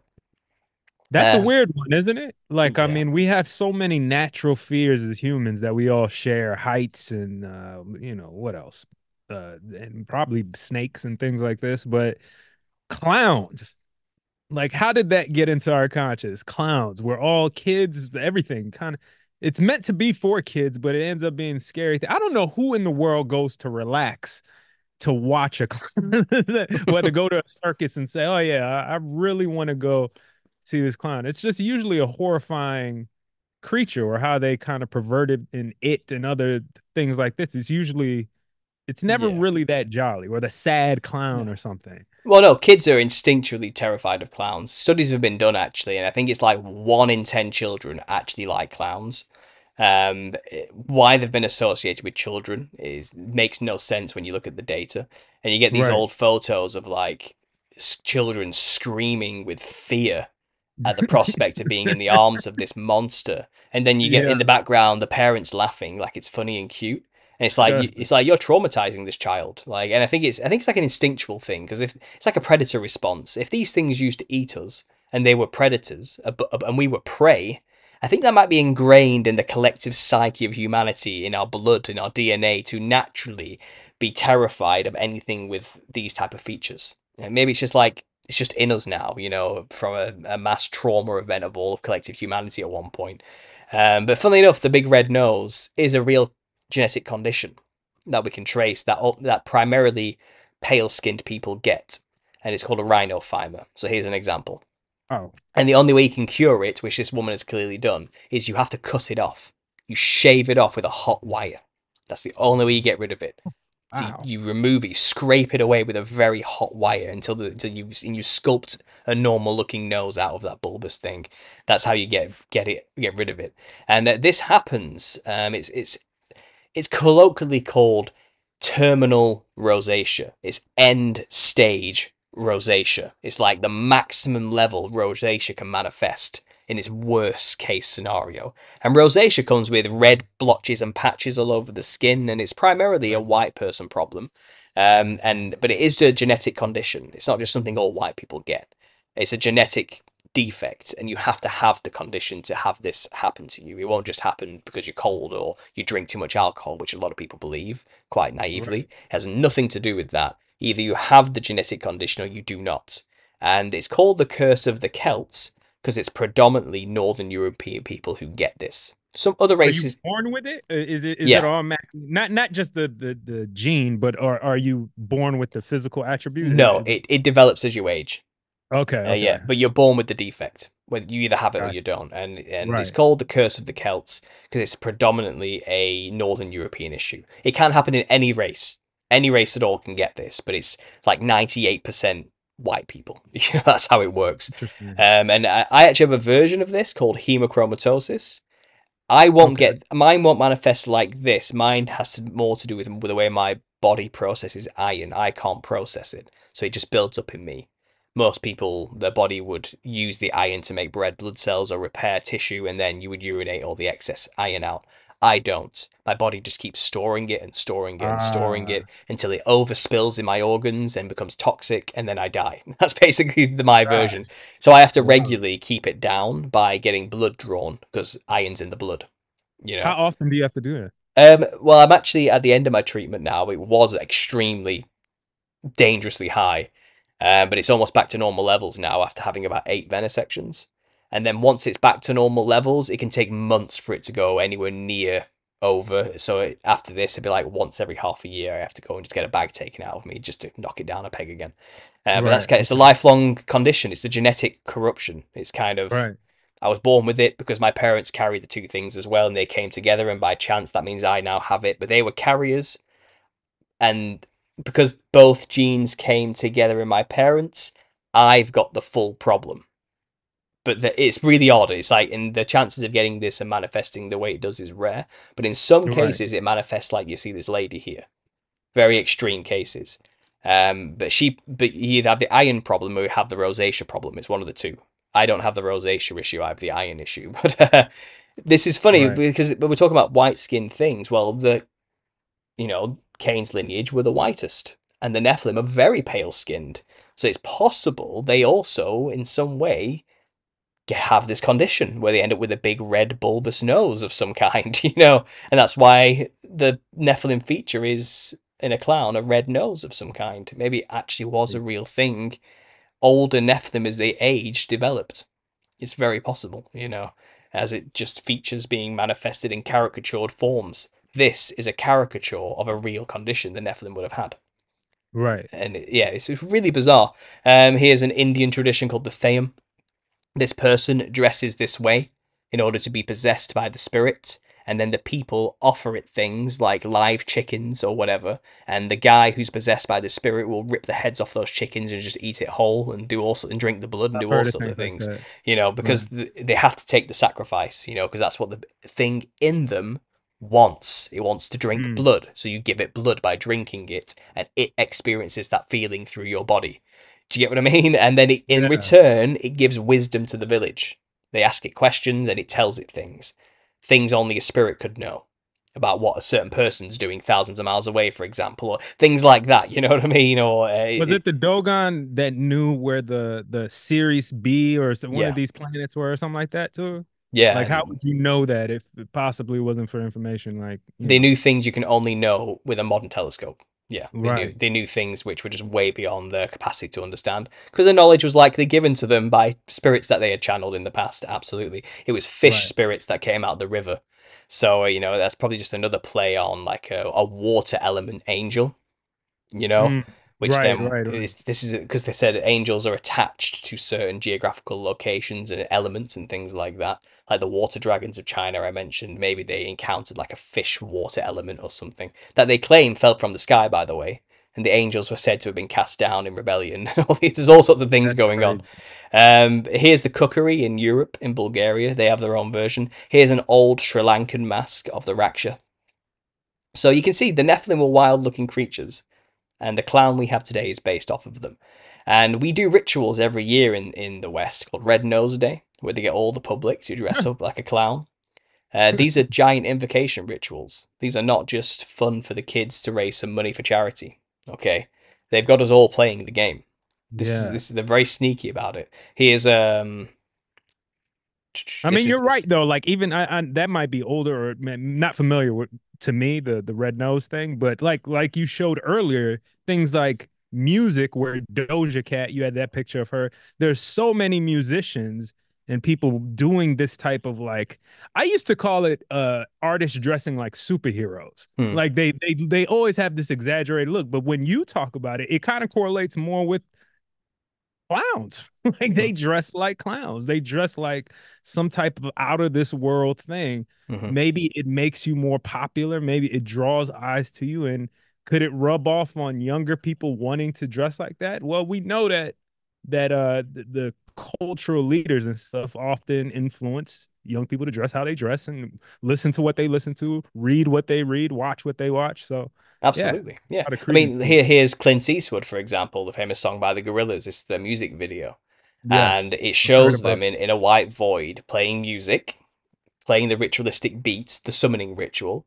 And Mm-hmm. then what happens is it cracks open, and then the drummer is possessed, okay, from doing the ritualistic tribal drumming. And then what bursts out of him is this thing, which is a clown spirit with pale bluish dead skin with the red lips and it's a giant it's stomping around and the first words it says is finally someone's let me out of my cage. Time to me is nothing i'm showing no age. And he goes on to explain how he's a timeless immortal being and how he influences the entire music industry. He's the one whispering in the ears of all the famous people. He writes all the songs that you listen to. Okay and he does it through Russell, the, the fictional drummer in this example, you know, and he's the one who creates the beat. Um, so yeah, sorry, th- there you go. You know, it's it, they hinted it all the time. The music industry knows Feels this, good. That's exactly you know. That's They- what the Nephilim are saying when they come out. well, yeah, basically, yeah, exactly. And uh, you know, I, I mean, these images just go on forever. This is just one. Um, Yeah. Let's see what else we've got here. So, uh, China, they have their examples. Here's another uh, odd tribe in Papua New Guinea. They white the skin up and put red reeds all over their body to give themselves red hair. And I the mean, we see these things all the time. We just never ask why. exactly. Why with the white paint? Why with these type of faces? Why like oh we're just not we just accept it as oh cultures are different. Mhm. People just have different ways. Yeah, so this culture in Africa, they believe the tallest men with the whitest eyes and the whitest teeth are the most attractive, and they do this mating dance ritual where they trip balls on psychedelic amphetamines and chatter their teeth, making a droning noise, gurning like hell, basically. and they do it for hours and hours and hours and hours, and the ones who can do it for the longest, and the ones who can jump the highest, uh, attract the women, you know. And this is a beauty standard that they've picked up from somewhere and look at the way they do what they do to themselves. And the paint they use here actually is called coal, K O H L.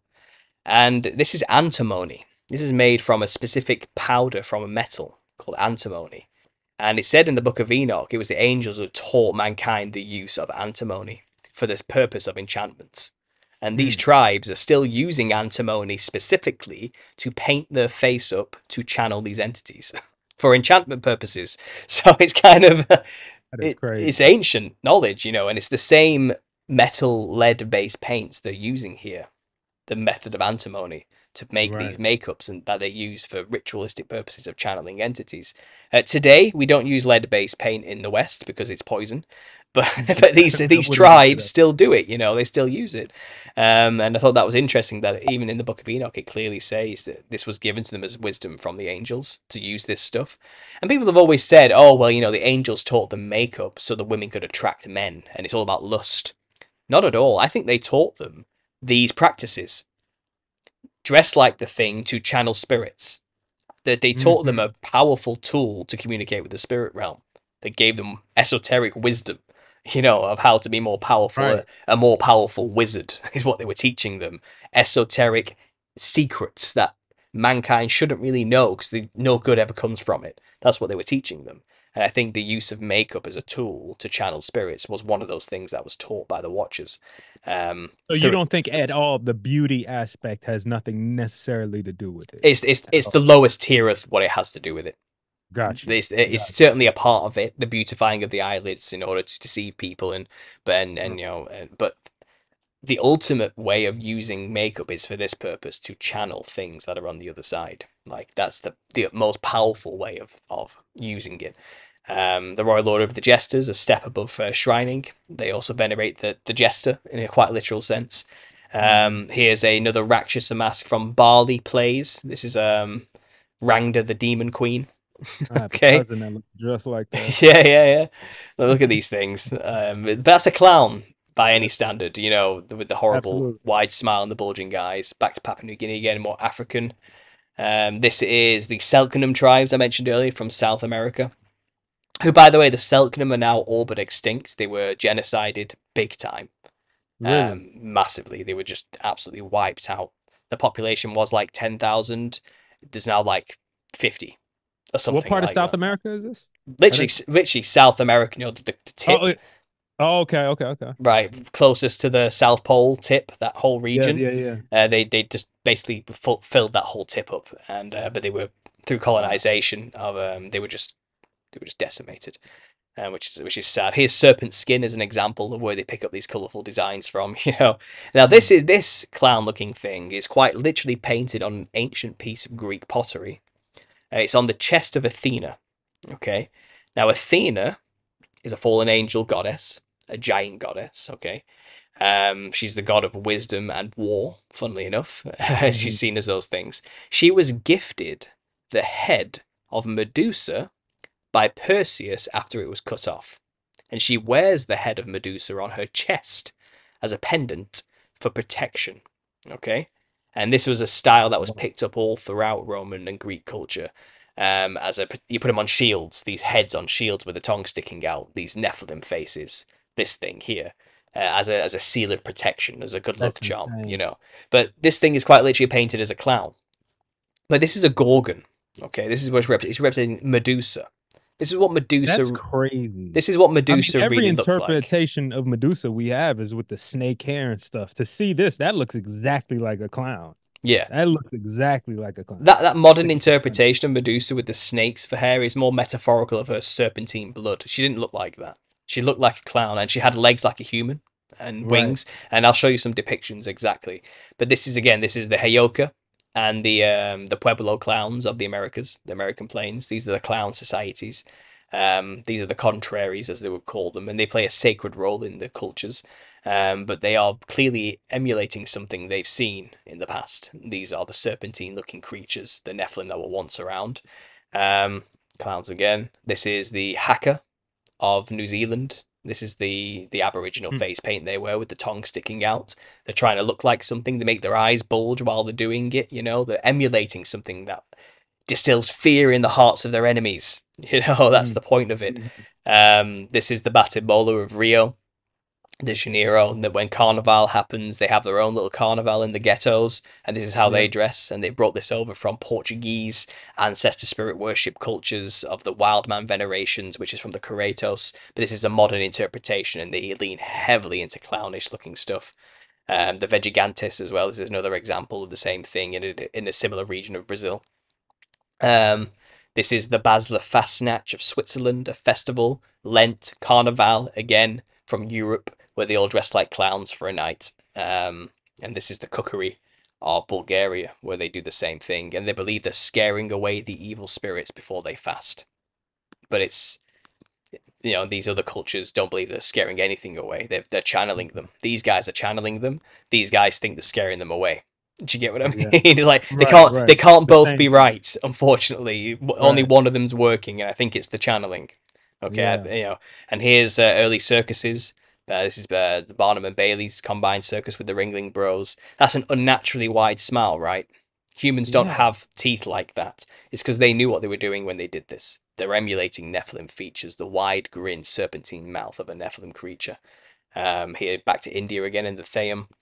This is the Caretos of Portugal. This is their wild man. Okay, and from these older Celtic traditions which dominate all of Europe, you then get the modern versions in carnivals in the colonized Americas, like this. Mm. But the, the original form is this. Okay, so that's what that's the cultural brought over to the Americas. This is what they brought over, the Caretos, these type of things. And they're literally representing giant hairy demons. right, that were very colourful, as you can tell. The Mhm. Nephilim of Europe, the European version of Nephilim. Every culture has their own version, and the wild men giants of Europe, this is how they represent them in their costumes. Okay. Um, and this is how they do it in Switzerland. Here's what you were talking about with the stilts earlier. Yep. Yep. Same thing. Ah. Um, you know, clowns wear stilts because they're representative of being a giant. It's a Right. metaphor for Nephilim symbolism, you know. Um, Johnson circuses again. Here's back to India. Polka dots, red polka dots on the skin. Speaking Uh, of India, real quick, do you feel that some of their gods, and not to offend anybody, but some of their gods of their pantheon of gods, like the I think Vishnu, the blue one, and and the ones with the many hands, and and the monkey type of looking one, like, do you think some of those were either Nephilim or angels? It's, it's I think it's a mix of both. I think I think India has a very different flavor of of, of religion than most of the places. I get the feeling Indian gods are talking about an even more far ancient time than most of the places. Because they talk about times where the gods were at war with each other and there was nothing but gods on the earth. And they all had a massive war with each other and completely destroyed the place with Like millions of years ago, right? yeah, with like extremely powerful weapons and Vimana Right. flying machines and nuclear war type destruction. You know, that's what a lot of what the mythos of, of these ancient uh, Vedic tech, you know, these these Hindu texts talk about. And I think they might be talking about a time even before Adam, even before the Earth as we know it, because it says because it says in the beginning the Earth was form and void. And it's as though it's been made form and void by something that happened, and God's starting again. That's, it seems to be that type of language, you know. And it's possible the angels used to be the first creation in a sense that had the mm-hmm. earth, and they utterly destroyed the thing Uh, through the stories and tales of these ancient gods of, of the Hindu mythos, you Oh, know. you just blew my mind just now. And uh, I think Gary Wayne discussed this this That'd concept with me, which blew my mind. And that's how that's how he's kind of pieced it into this the, the chronology, if you want to call it this, because we're, we're- playing a game so here, you know. could have been like God's original Yeah. new life, and they went to war. They destructed. They they're the Indian and some of the maybe other gods of distant, distant past that we think of. Maybe, yeah, And maybe, or it could God be quite over lit- with us. it could quite literally also just be they're just this playing the same game in that region as the Greek gods were in in the European regions. right, they're just right. they're just these fallen angel watchers in rebellion Watch- posing as pantheons. You could just say that as well. It's like the Norse gods as well. In this, all the same thing. You know, wherever you go, where there's a pantheon, where or even like the the sun worship gods or the dragons of the feathered serpents of Quetzalcoatl of North America. Were playing that game over there of literal dragon gods everywhere, or the dragon gods of um again the Jade Emperor of China, or the rainbow serpents of of um and the Wandjina offspring of Australia.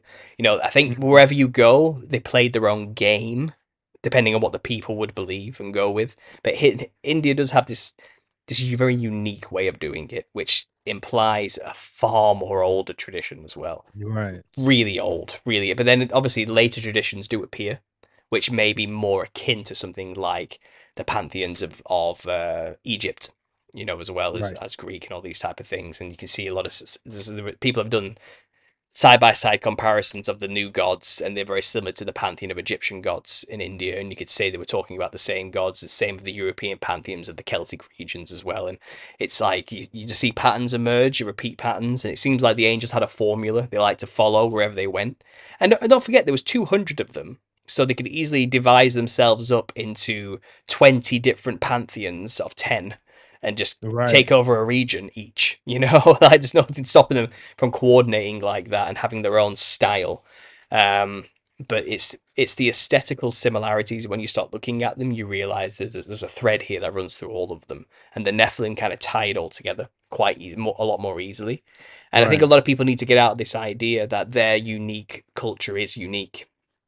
They're not. Mhm. They're not. They're far from it. You know, and and just because you've believed it your whole life as the one the one way doesn't mean that other people aren't doing the exact same thing just by a different name over there. And you have to wonder why it's the same. You know, there's there's something there's something odd going on.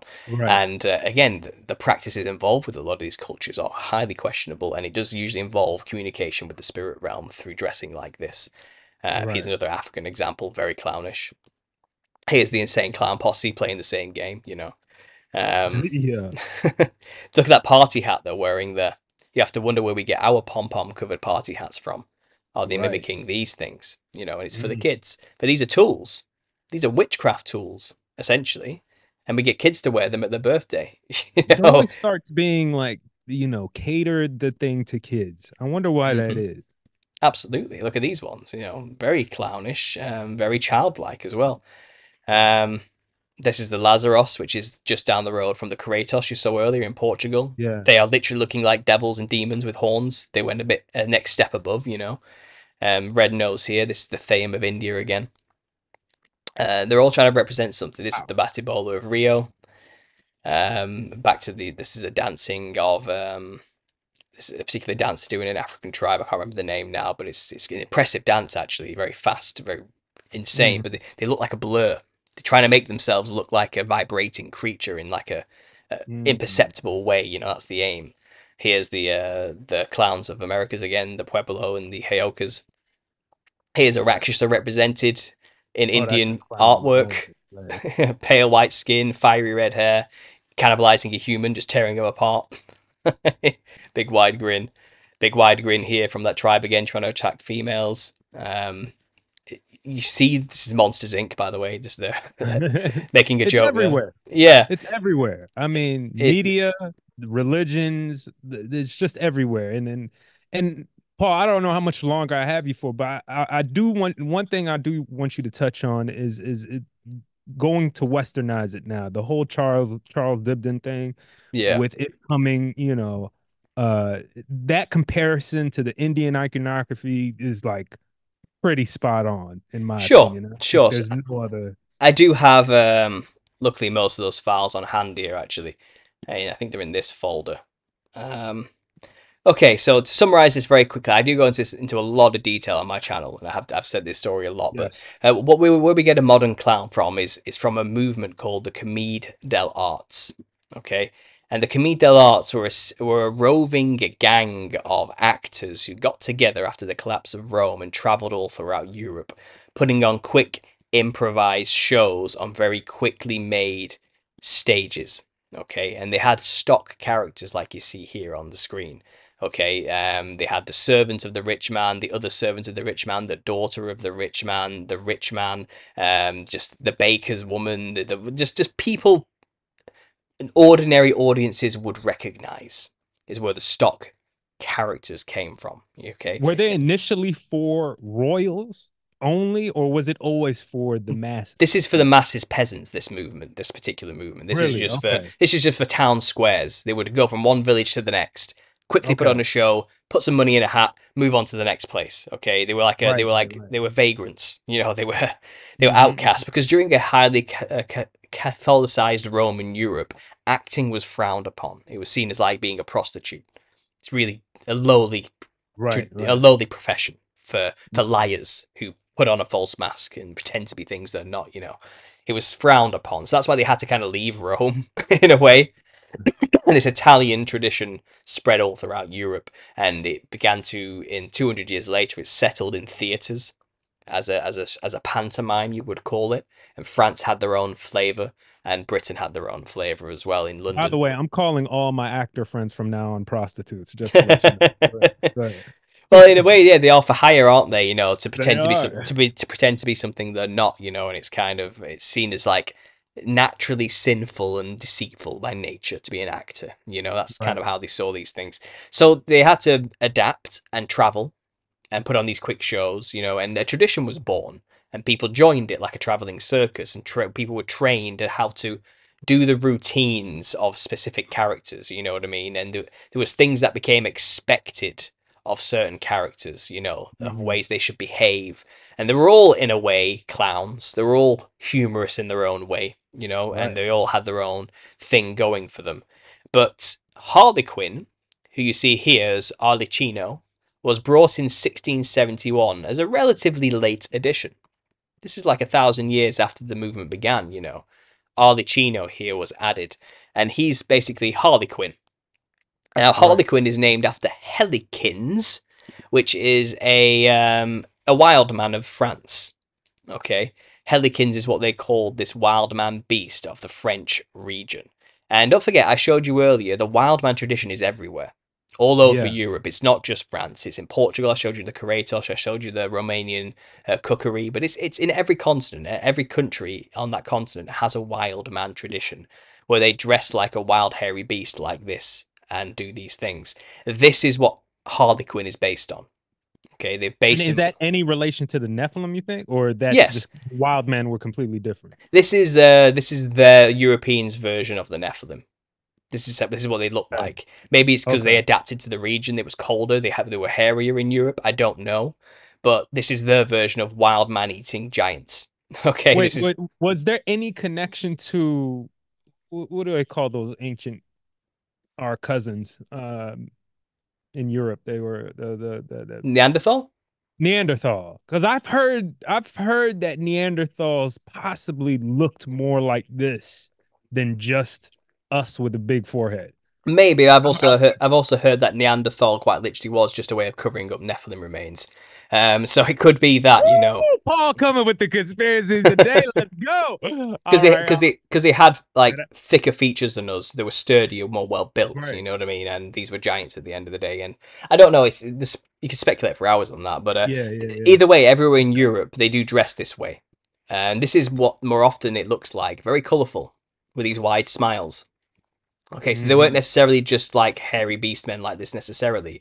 They were also quite colourful creatures as well, and you see a lot of representations like this, or or you see these plain, boring modern representations where they were just hairy men. But I think they looked more like this when they were knocking about, quite colourful and wild and crazy, um, really, really out there, and therefore Harley Quinn was kind of modelled after this very popular tradition, which was all over Europe, which everyone would recognise the Wild Man. So he became a stock character in the form of Harlequin or Arlecchino. Um, and this is what he originally looked like. Quite patchworky all over the place, multicoloured with a beast mask. Um, his mask was like this, covered in hair Right. uh, with his wide lips and elongated eyes, and he had this horn on his forehead, quite patchwork and multicolored, quite demonic looking. You see an actor actually here wearing the the traditional costume, if I can find it, and he does look quite terrifying actually eh, wearing this thing. It doesn't look. Uh, I don't know. It- something about it is really, really grotesque. Uh, so there's the royalty copying the way the Nephilim looked as well. They they were definitely into it. There you go, like this. It's quite a a brutish looking thing, you know, in in, in a sense. Mm. Um, but it's modelled after the Wild Man. But there he is in his all his early forms. He's like a demonic, weird, conjoined, evil character. He was meant to represent Yeah. the, the demonic entity within the play. That was his role because he's quite literally modelled after the Nephilim demons of Europe. So there you go. There's the first proto clown. Now, the he was he was cast as a zany character, as a servant for the rich man. Okay, and he would often have a back and forth uh, kind of comedic routine with um, the other servant of the rich man, which was Pedrolino. So there's Harley Quinn again, looking quite brutish and weird with his red lips. So this is Pedrolino. Pedrolino was the other servant. And they would always kind of have like a, a who can be the worst servant comedy, or there was many routines they could play this back and forth with. But the most popular one that became the most famous is that Harley Quinn here would steal the daughter of the rich man, which is Columbine. Okay, and she they would run away together. And mm-hmm. Pedrolino here in the middle would chase after them with the rich man. So they would try and get his daughter back from Harlequin. Right. Okay, and that was the comedic routine. So here's a diamond patterned idea of a wild man. That's where the Harlequin gets his diamond patterned clothing from. It's a mimic of this. It's to also represent tufts of hair. Um, here's the wild man tradition of the Kukeri in Bulgaria. This is what they were copying. Okay. Um, so anyway, this routine comes. Arlecchino would run away with the daughter of the rich man. Arlecchino was also modelled after some Mediterranean symbolism of um, Mercury here with his staff. You know, mm. quite f- quick-witted, fleet of foot, able to do right. acrobatic feats that was so unhuman. Like no human could do these things. He was supposed to represent that that weird energy. He would do pretty rude things with his slapstick. He always had this stick with him, which he slapped the stage with, which would then change the scene instantly. You know, he was um, he was a demon with magical powers. That was Arlecchino. That's Harley Quinn, modelled after Helikins, the French version of Wild Men. So there you go. 200 years later, he gets boring. He changes dramatically, okay? he becomes. Uh, here's his costume developing into this fancy lad looking thing here. Mm-hmm. You know, quite poncy, tight leotard, not as demonic anymore, not as brutish as his original form here. Um, and he gets boring, really, and the routine gets old, you know. Meanwhile, Pedrolino kind of develops into something like this in France. This is Pierrot. So his his counterpart, the other servant, Pedrolino, is the clown developing into its form. Okay, so here's right. the clown in France. He was quite a sad clown, always crying and upset and feeling sorry for himself because, you know, um, while woe is me, why does Columbine love Harlequin instead of me? You know, like, why does she want to run away with him when she could have me instead? I would treat her so much better. He was that kind of guy. You know, just just get over yourself type of clown. You know, that type of guy. Right, right, right. Um. Anyway, in Britain, clown was very different Clown was wild and wacky and funny. Still dressed like this, though. Like Pedrolino here in plain white clothing. Okay. But he was a mm-hmm. lot more of a wild card character and be- started to act a lot more like Harlequin did. He became more okay. demonic and witty and edgy and weird, you know. Harlequin became a bit more fancy and and and elo- eloquent and cool and collect, you know. So mm. Clown kind of took over Harlequin as the demon role, and his costume changed at the same time around this around this time period. So the French clown was doing its sad thing, still dressed in white garbs, you know, looking sad and sorry for itself, like this, you know. But in yeah. Brit in Britain, suddenly, out of nowhere, see if I can find a decent photo of it here. Um, he started to look something like this monster you see here on the left. Right. Just suddenly, a costume change happened. So there's Columbine with Harlequin running away, and there's Pantaloon, the rich man, and his other servant Pedrolino. You know, it's it's the same routine. But why would you suddenly change the costume of the clown, which has been the same for a thousand years? By the way, he's always looked like this, to suddenly dressing in this thing.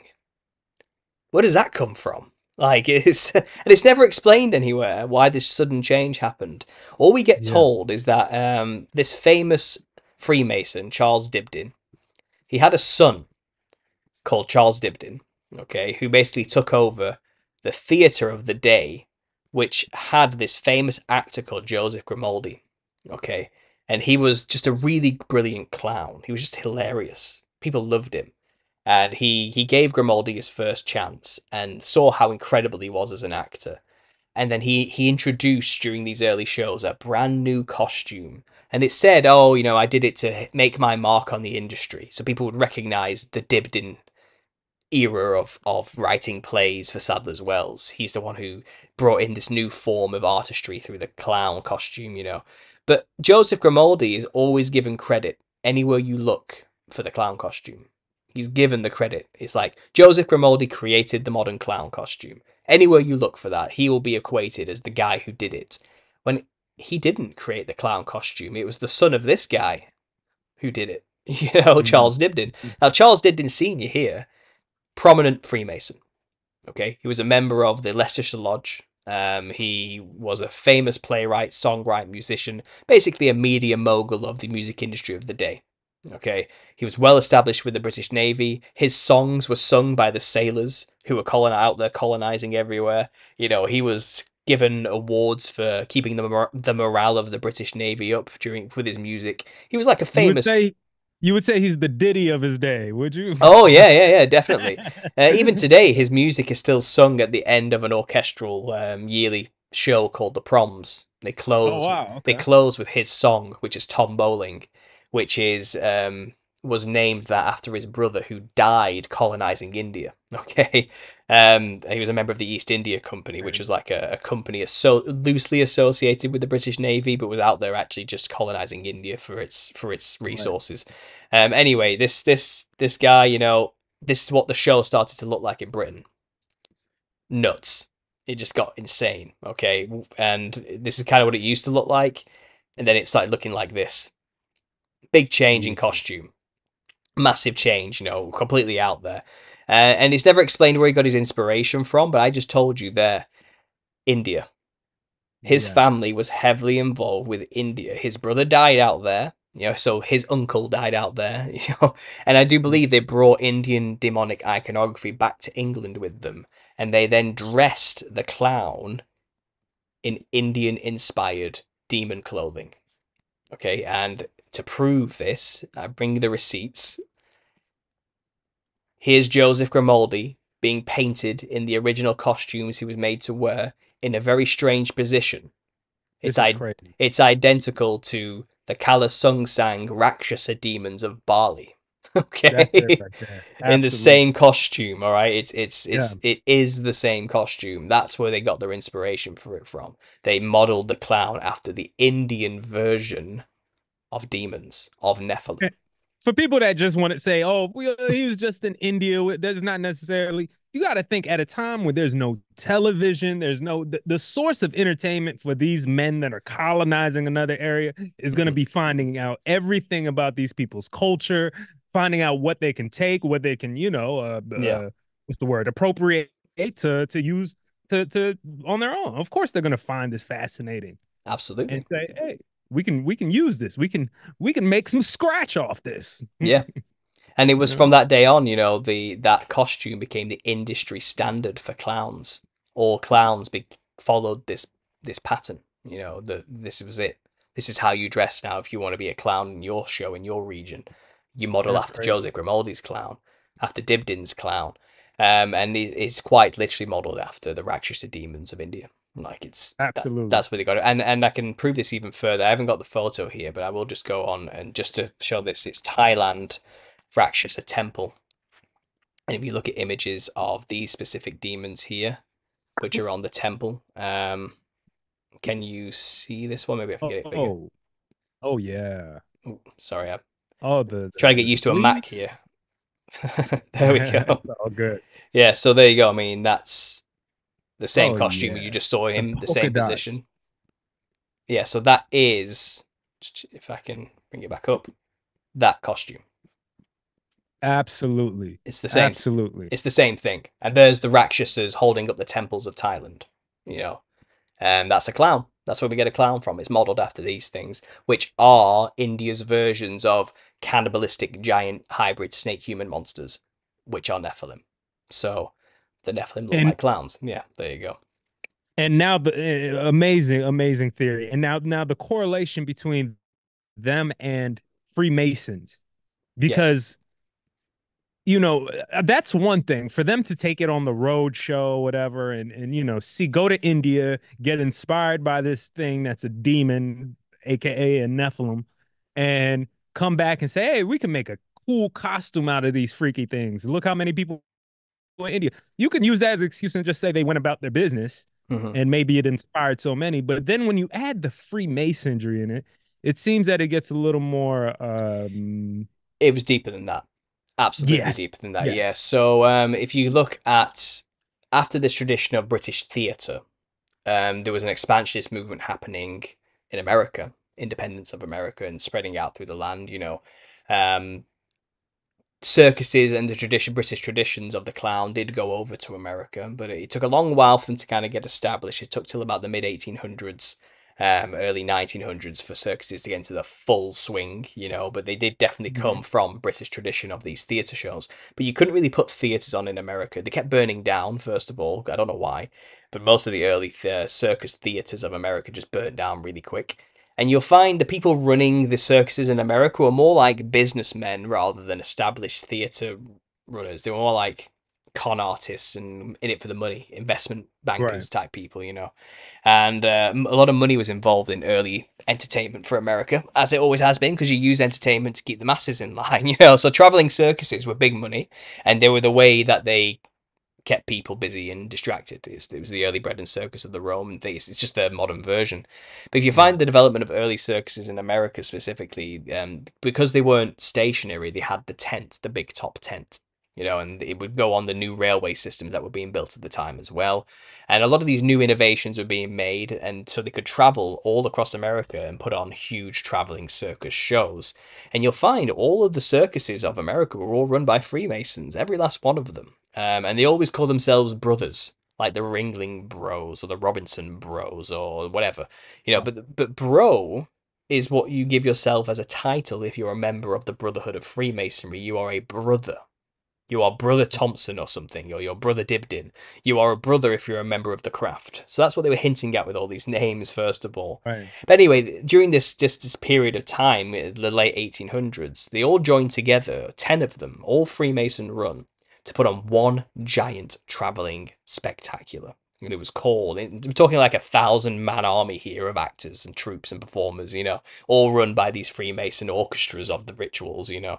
And it was Mhm. called King Solomon and the Queen of Sheba. Now, if I can get this up actually, King Solomon and the Queen of Sheba Circus. And here's the posters that were knocking about at the time. Um, and it was trying to recreate Solomon's court in all its spectacular glory, you know. And here's a newspaper clipping of the time. Um, and it shows here, you know, 10 truly great shows merged into one huge three big circus rings three menageries of animals grand biblical spectacle complete aviary gigantic museum uh, it was just they were just going all out with this king solomon story and you realize that's because the freemasons are obsessed with solomon. They love that guy. He is like the the the bro the idol. They they want to be him because um you know freemasonry solomon's temple. They're all about rebuilding solomon's temple. It's what all the symbolism is re- equating to They believe in pillars. wisdom and all that stuff. Yeah yeah and all the all the esoteric he was the keeper of all the knowledge and all these type of things he had the ring Right. which controlled the demons to build his temple okay he was he was the ringmaster solomon is the ringleader okay he is the guy with Ah. the power of the ring to control the, of ritual the and the demons. He's the Lord of the Ring, yes. And a lot of people don't realize this, but um Freemason worshipful Grand Master. The worshipful Grand Master of any lodge is the only one allowed to wear a black top hat. Or a hat of any kind. Okay, it's, it's regional, it changes slightly. Right. But nobody else is allowed to wear that top hat other than the leader of the lodge. And the why? It represents the crown of Mhm. Solomon. Okay, only the king can wear a crown. It's symbolic. Okay, and then you realize that all these Freemasons run all these circuses, and then you have the ring master of a circus. He is just a worshipful grandmaster of a lodge. He's an analogy of the of the leader of a lodge.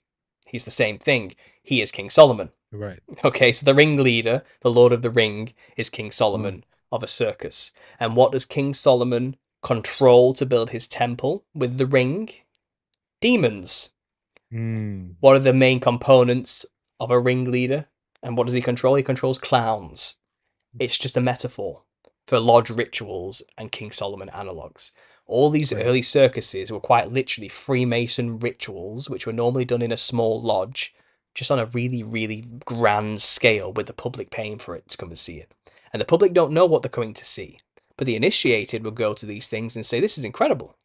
I normally see these rituals done on a tiny scale in my crappy little lodge in my uh, backwater town. But here I'm looking at this grand, enormous version of my ritual, just done on a huge scale. You know, it's spectacular, it's amazing, and that's what they were. That's make no mistake, all circuses were fully formed and, and utilized by Freemasons from the very beginning. All Shriners today still control the biggest traveling circus in in America. Okay, and th- it's, Wow. it's a it's, the Ringling Brothers were all Freemasons, and the Sarasota Ringling Circus that's still around today. It's a Freemason based organization from the very beginning. Mhm. Okay. And they really took the clown on and adopted it and formed it to be more of the classic clown we see today. Okay, so they kept they kept Hmm. sculpting and molding the image of a clown. And if you look at um, early clown posters, uh, if you get some good examples here, um, they really lean into the giant iconography quite a lot. They always represent them as giants. Look at this one. This is quite literally a. Can you see this one here? Oh yeah. It's quite literally a giant looming over everything, picking up a giraffe.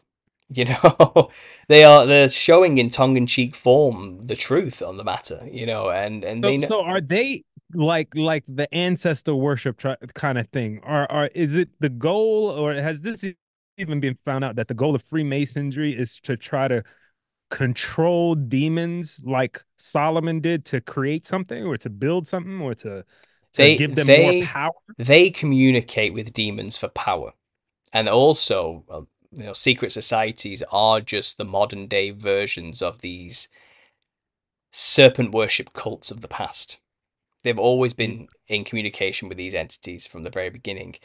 Freemasons are, and secret societies are kind of like the physical foot soldiers, and they answer to the spiritual foot soldiers of the angels, which are the Nephilim.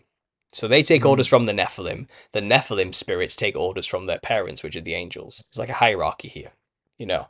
And in order to create stronger channels and communicate with them e- more easily, they've created their own version of an ancestor spirit channeling costume, and they called it a clown. But they made it public. They made it out in the open. It's hidden in plain sight. It's and Mhm. th- this is where exoteric and esoteric comes into play. Now, it's an exoteric image. So, exoterically, the public just see it as a bit of fun for the kids. right. Esoterically, the hidden meaning, which the initiated will know, is it's a costume used as a tool to channel demons. So, publicly, it's fun for the kids. Secretly, it's a tool used to channel demons. Do you get what I mean? Mm. That's how the occult works. That's the practices Mhm. they they are at play here. And uh, like I said, they they've been hinting at this since the very beginning. Here it is with its tongue sticking out, just like the Rakshasa demons. You know, it's the same thing.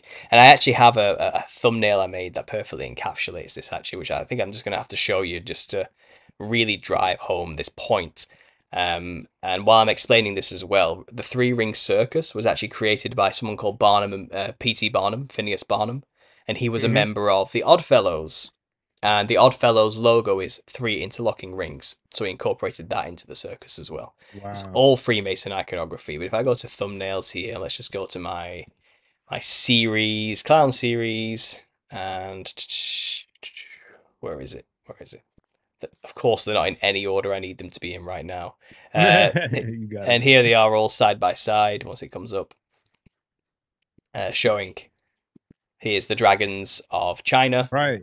here's the Rakshasas of India, here's the clown from those early circuses. They they just copied these beasts and made their own version of it. okay, that's all it is. And the game now is to get as many channels open as possible. So they're actually encouraging more and more people and members of the public to dress like clowns, and they do that through um, constantly cycling through new versions of the Joker or recycling it, for example, every so Yeah. often. So that every Halloween, there's more costumes that people can wear and channel more of these demons unknowingly. Being ignorant of the law does not make you immune to this law, unfortunately. And and Right. optimally, a demon wants to possess you without you even realizing it. That's the best way to do it. They don't want you to know that's what you've done. Okay, Uh, because if you know, you can cast them out. like so it's best to stay Right. hidden especially in the west which is a highly christianized nation they're not so hidden in all these other countries because they're not christian. They're not worried about being cast out in the name of jesus or anything Mm. like that. So they're quite open and brash but in the west it's sneakier. It's more hidden. It's in the shadows. You're not supposed to know what's going on you know what i mean? That's that's the game at play here. So yeah. I don't know if I can make it any more clear what's going on here, but wherever you see um, cultures and movements happen, like for example, 2023, clown fashion was the highest trending thing. Um, Right. Clown core, clown core fashion. Encore, yeah.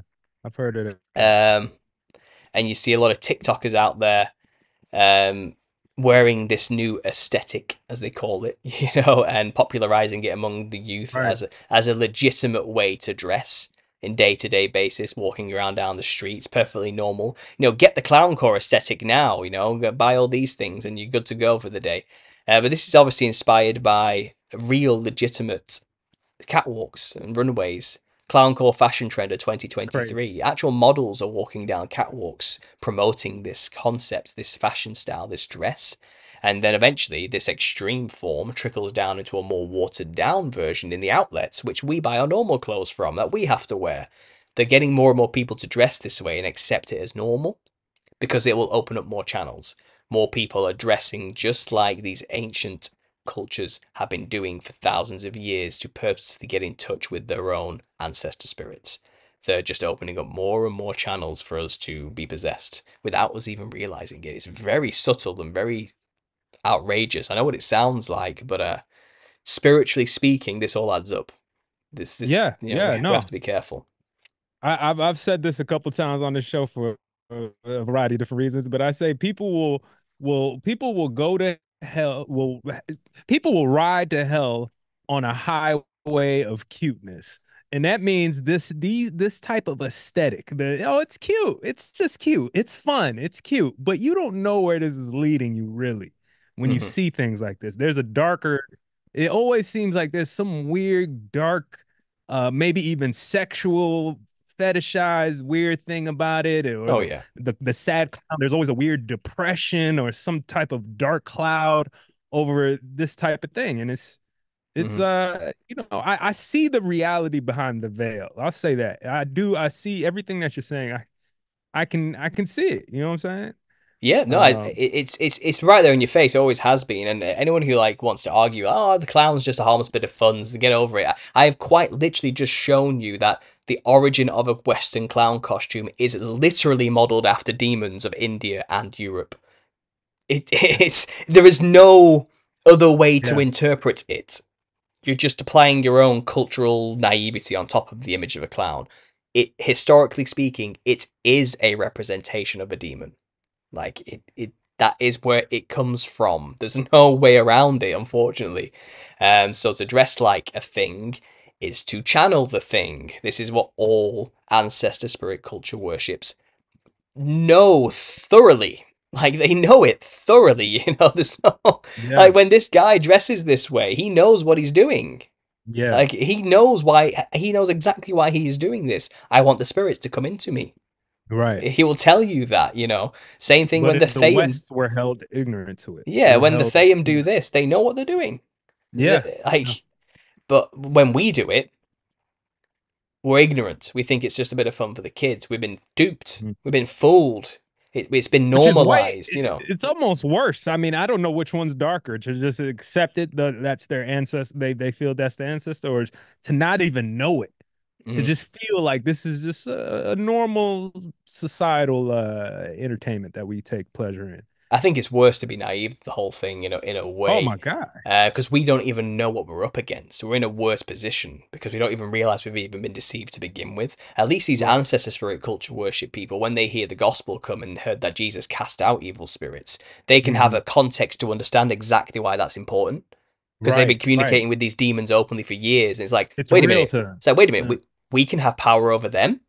They've Yeah. never heard that before. It's, they're blown away by that concept, which is why it's so easy to convert people to Christianity in these Right, right. places because they have dealt with these creatures openly in brutal forms, sacrificing to them for so long. Mhm. It's a breath of fresh air when some culture comes along and says, "No, no, no, no, no. These things are weak and they are defeated, and you can have authority over them." They're like, Right. "What?" but we don't Yeah. even believe a spirit realm exists. Yeah. We don't even know, you know. And look at these look at these clown looking things in in Australia. You know, these are the Wandjinas. These are the offspring of the rainbow serpents. They are quite literally dressed like a clown. Right. Like this, like where we get our clown from is modeled after these things. There's, there's, I cannot emphasize enough how important this is and how real this is. I mean, did you see earlier the demon face syndrome thing that was going around where Yes, people were seeing? seeing this, right? They're seeing demon faces. Yeah, well, they look like clowns. That's what they're Yeah, seeing yeah. wide grinned, wide eyed features. This is what they're beginning to see, you know, when you see the demon within people. I'm not saying people are demons with a mask on. I think Right. you're seeing the demon in people that's trying to control them. And you see it manifest through their features, you know, and that's where you get these things from. I, I- mean, I- I have thousands of images here, you know, that I've showcased on my channel way better than I have done today, you know, but it's it- I'm not just making this up. I think a lot of people don't really. They think I'm just saying stuff for clout or something, or I'm just I'm trolling in some way. I'm deadly serious. Like they, these are AI images, all right, but the Nephilim looks something like this. Okay, Yeah. that's a that's a human dragon hybrid with white pale skin, psychedelic patterns and features, fiery wild red hair, glowing blue wild eyes, sharp serpentine teeth with human pink lips. This is what you get when you mash those things together. It's terrifying. Okay, this is what the, this is Venom, isn't it? From the uh, Spider-Man universe, you know. Right. Right. It's it's the same thing, you know, and every culture would have their own artistic way of depicting it. Here's a Japanese inspired AI rendition, you know. But they would all have their own way of doing it and every culture down the line has maintained this. But then in the music industry, here's here's uh yep. Uh, Bono utilizing the same tactic and trick. He's not just doing this because he's a bit weird. He's doing something that has been done for thousands of years. Okay, he's doing the same thing. He is channeling just as much as this guy is right here with his red nose. You know, it's it's the same process. It's it, and it's it's so nefarious. I mean, look at these Wandjina looking things.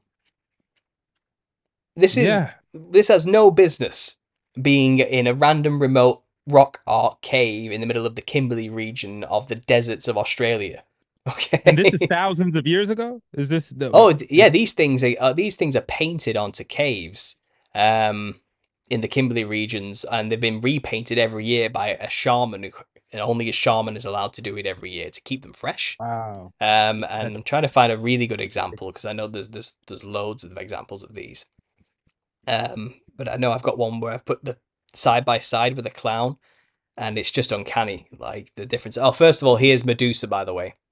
Again, it's not a snake-haired green Red woman. hair.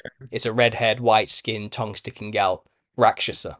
But this is in That's Greece. Crazy. This is in Greece, you know, and the story of how this thing got made.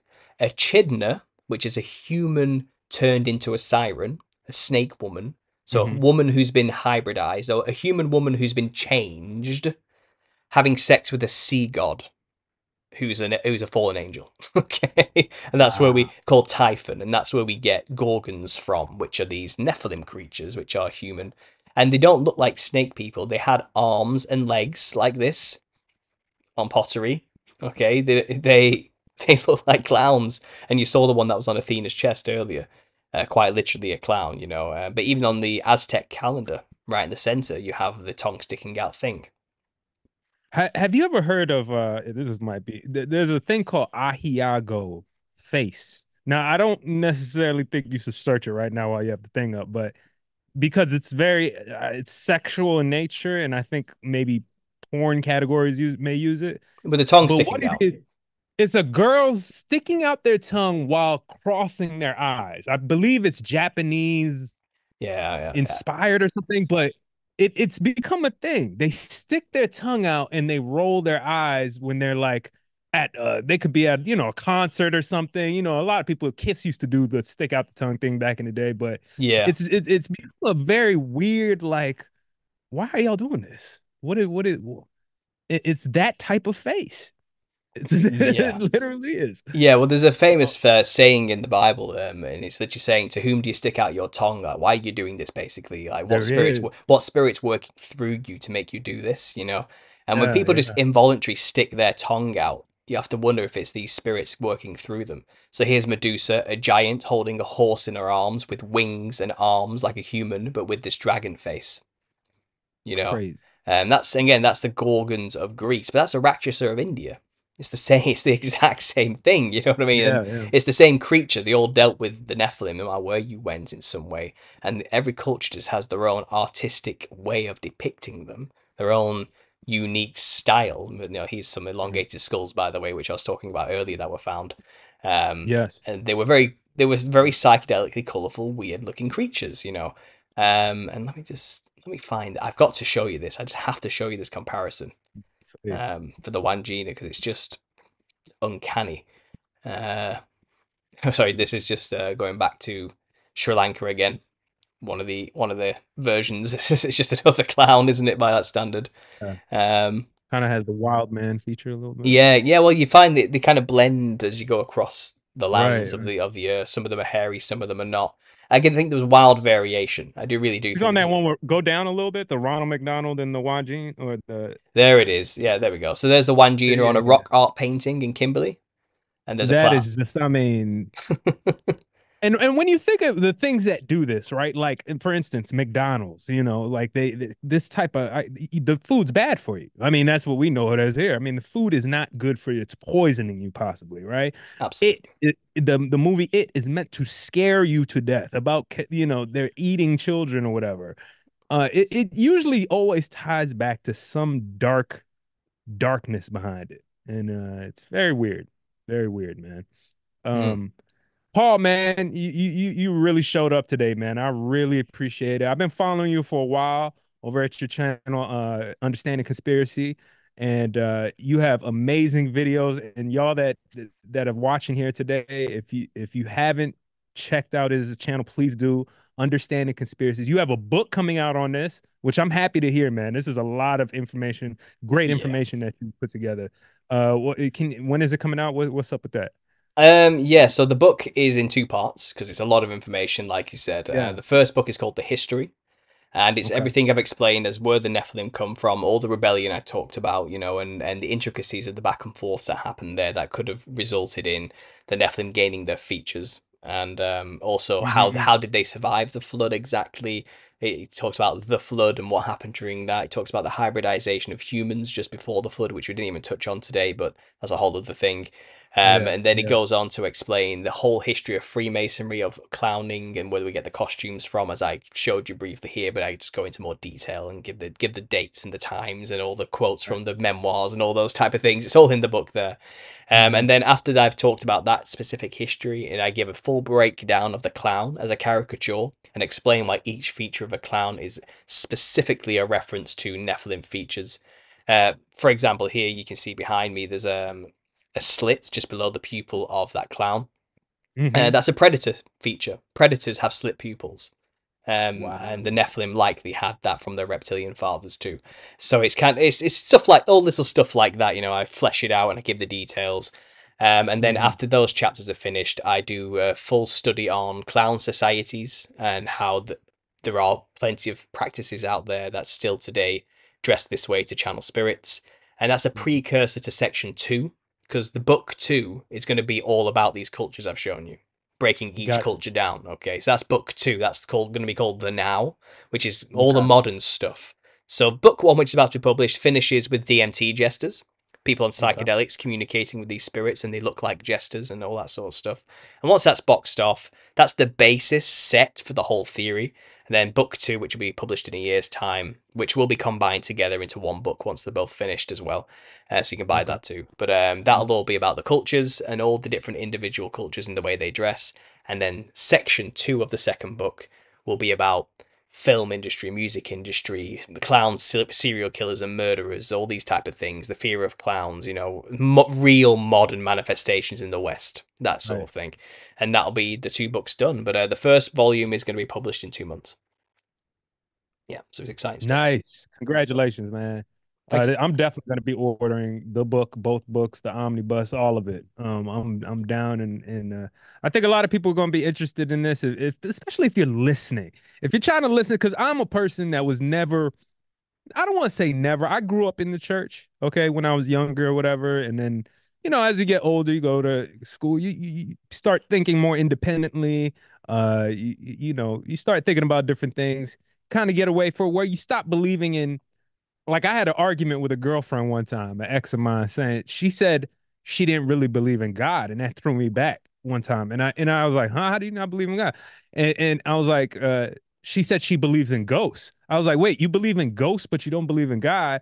And and I was like, I don't believe in ghosts really, but I believe in God. You know what I mean? And and that there was a I had to ask myself, well, wait a minute. If I'm only looking at, especially for my show or whatever, conspiracies of you know, science of of the the aliens are landing here or AI or all this other stuff.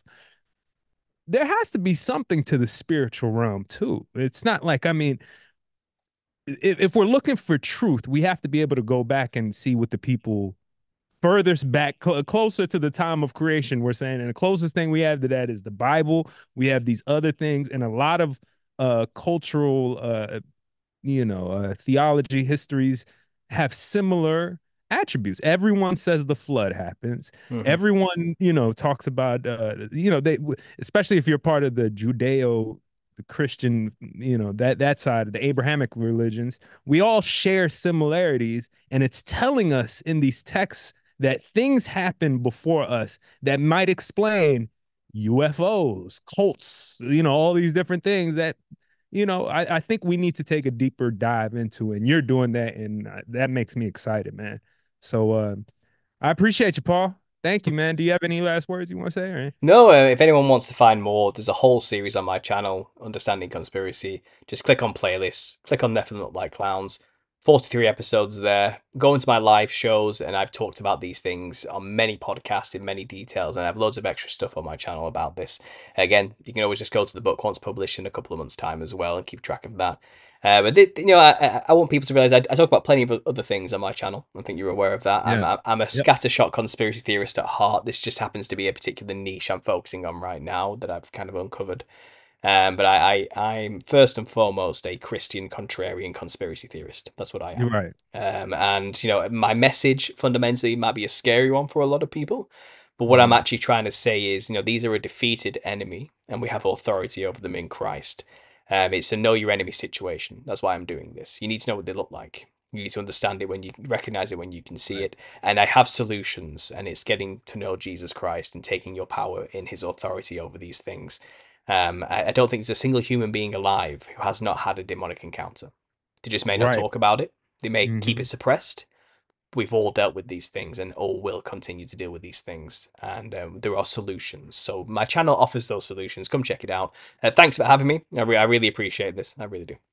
Awesome. Thank you, man. I really appreciate it. Hopefully, have you back to talk about Millennial uh, Kingdom too another time. Let's get maybe, into it. Maybe. Sure thing. Sure thing. All right, brother. Take care. You too. Bye now. Right, bye. Recording.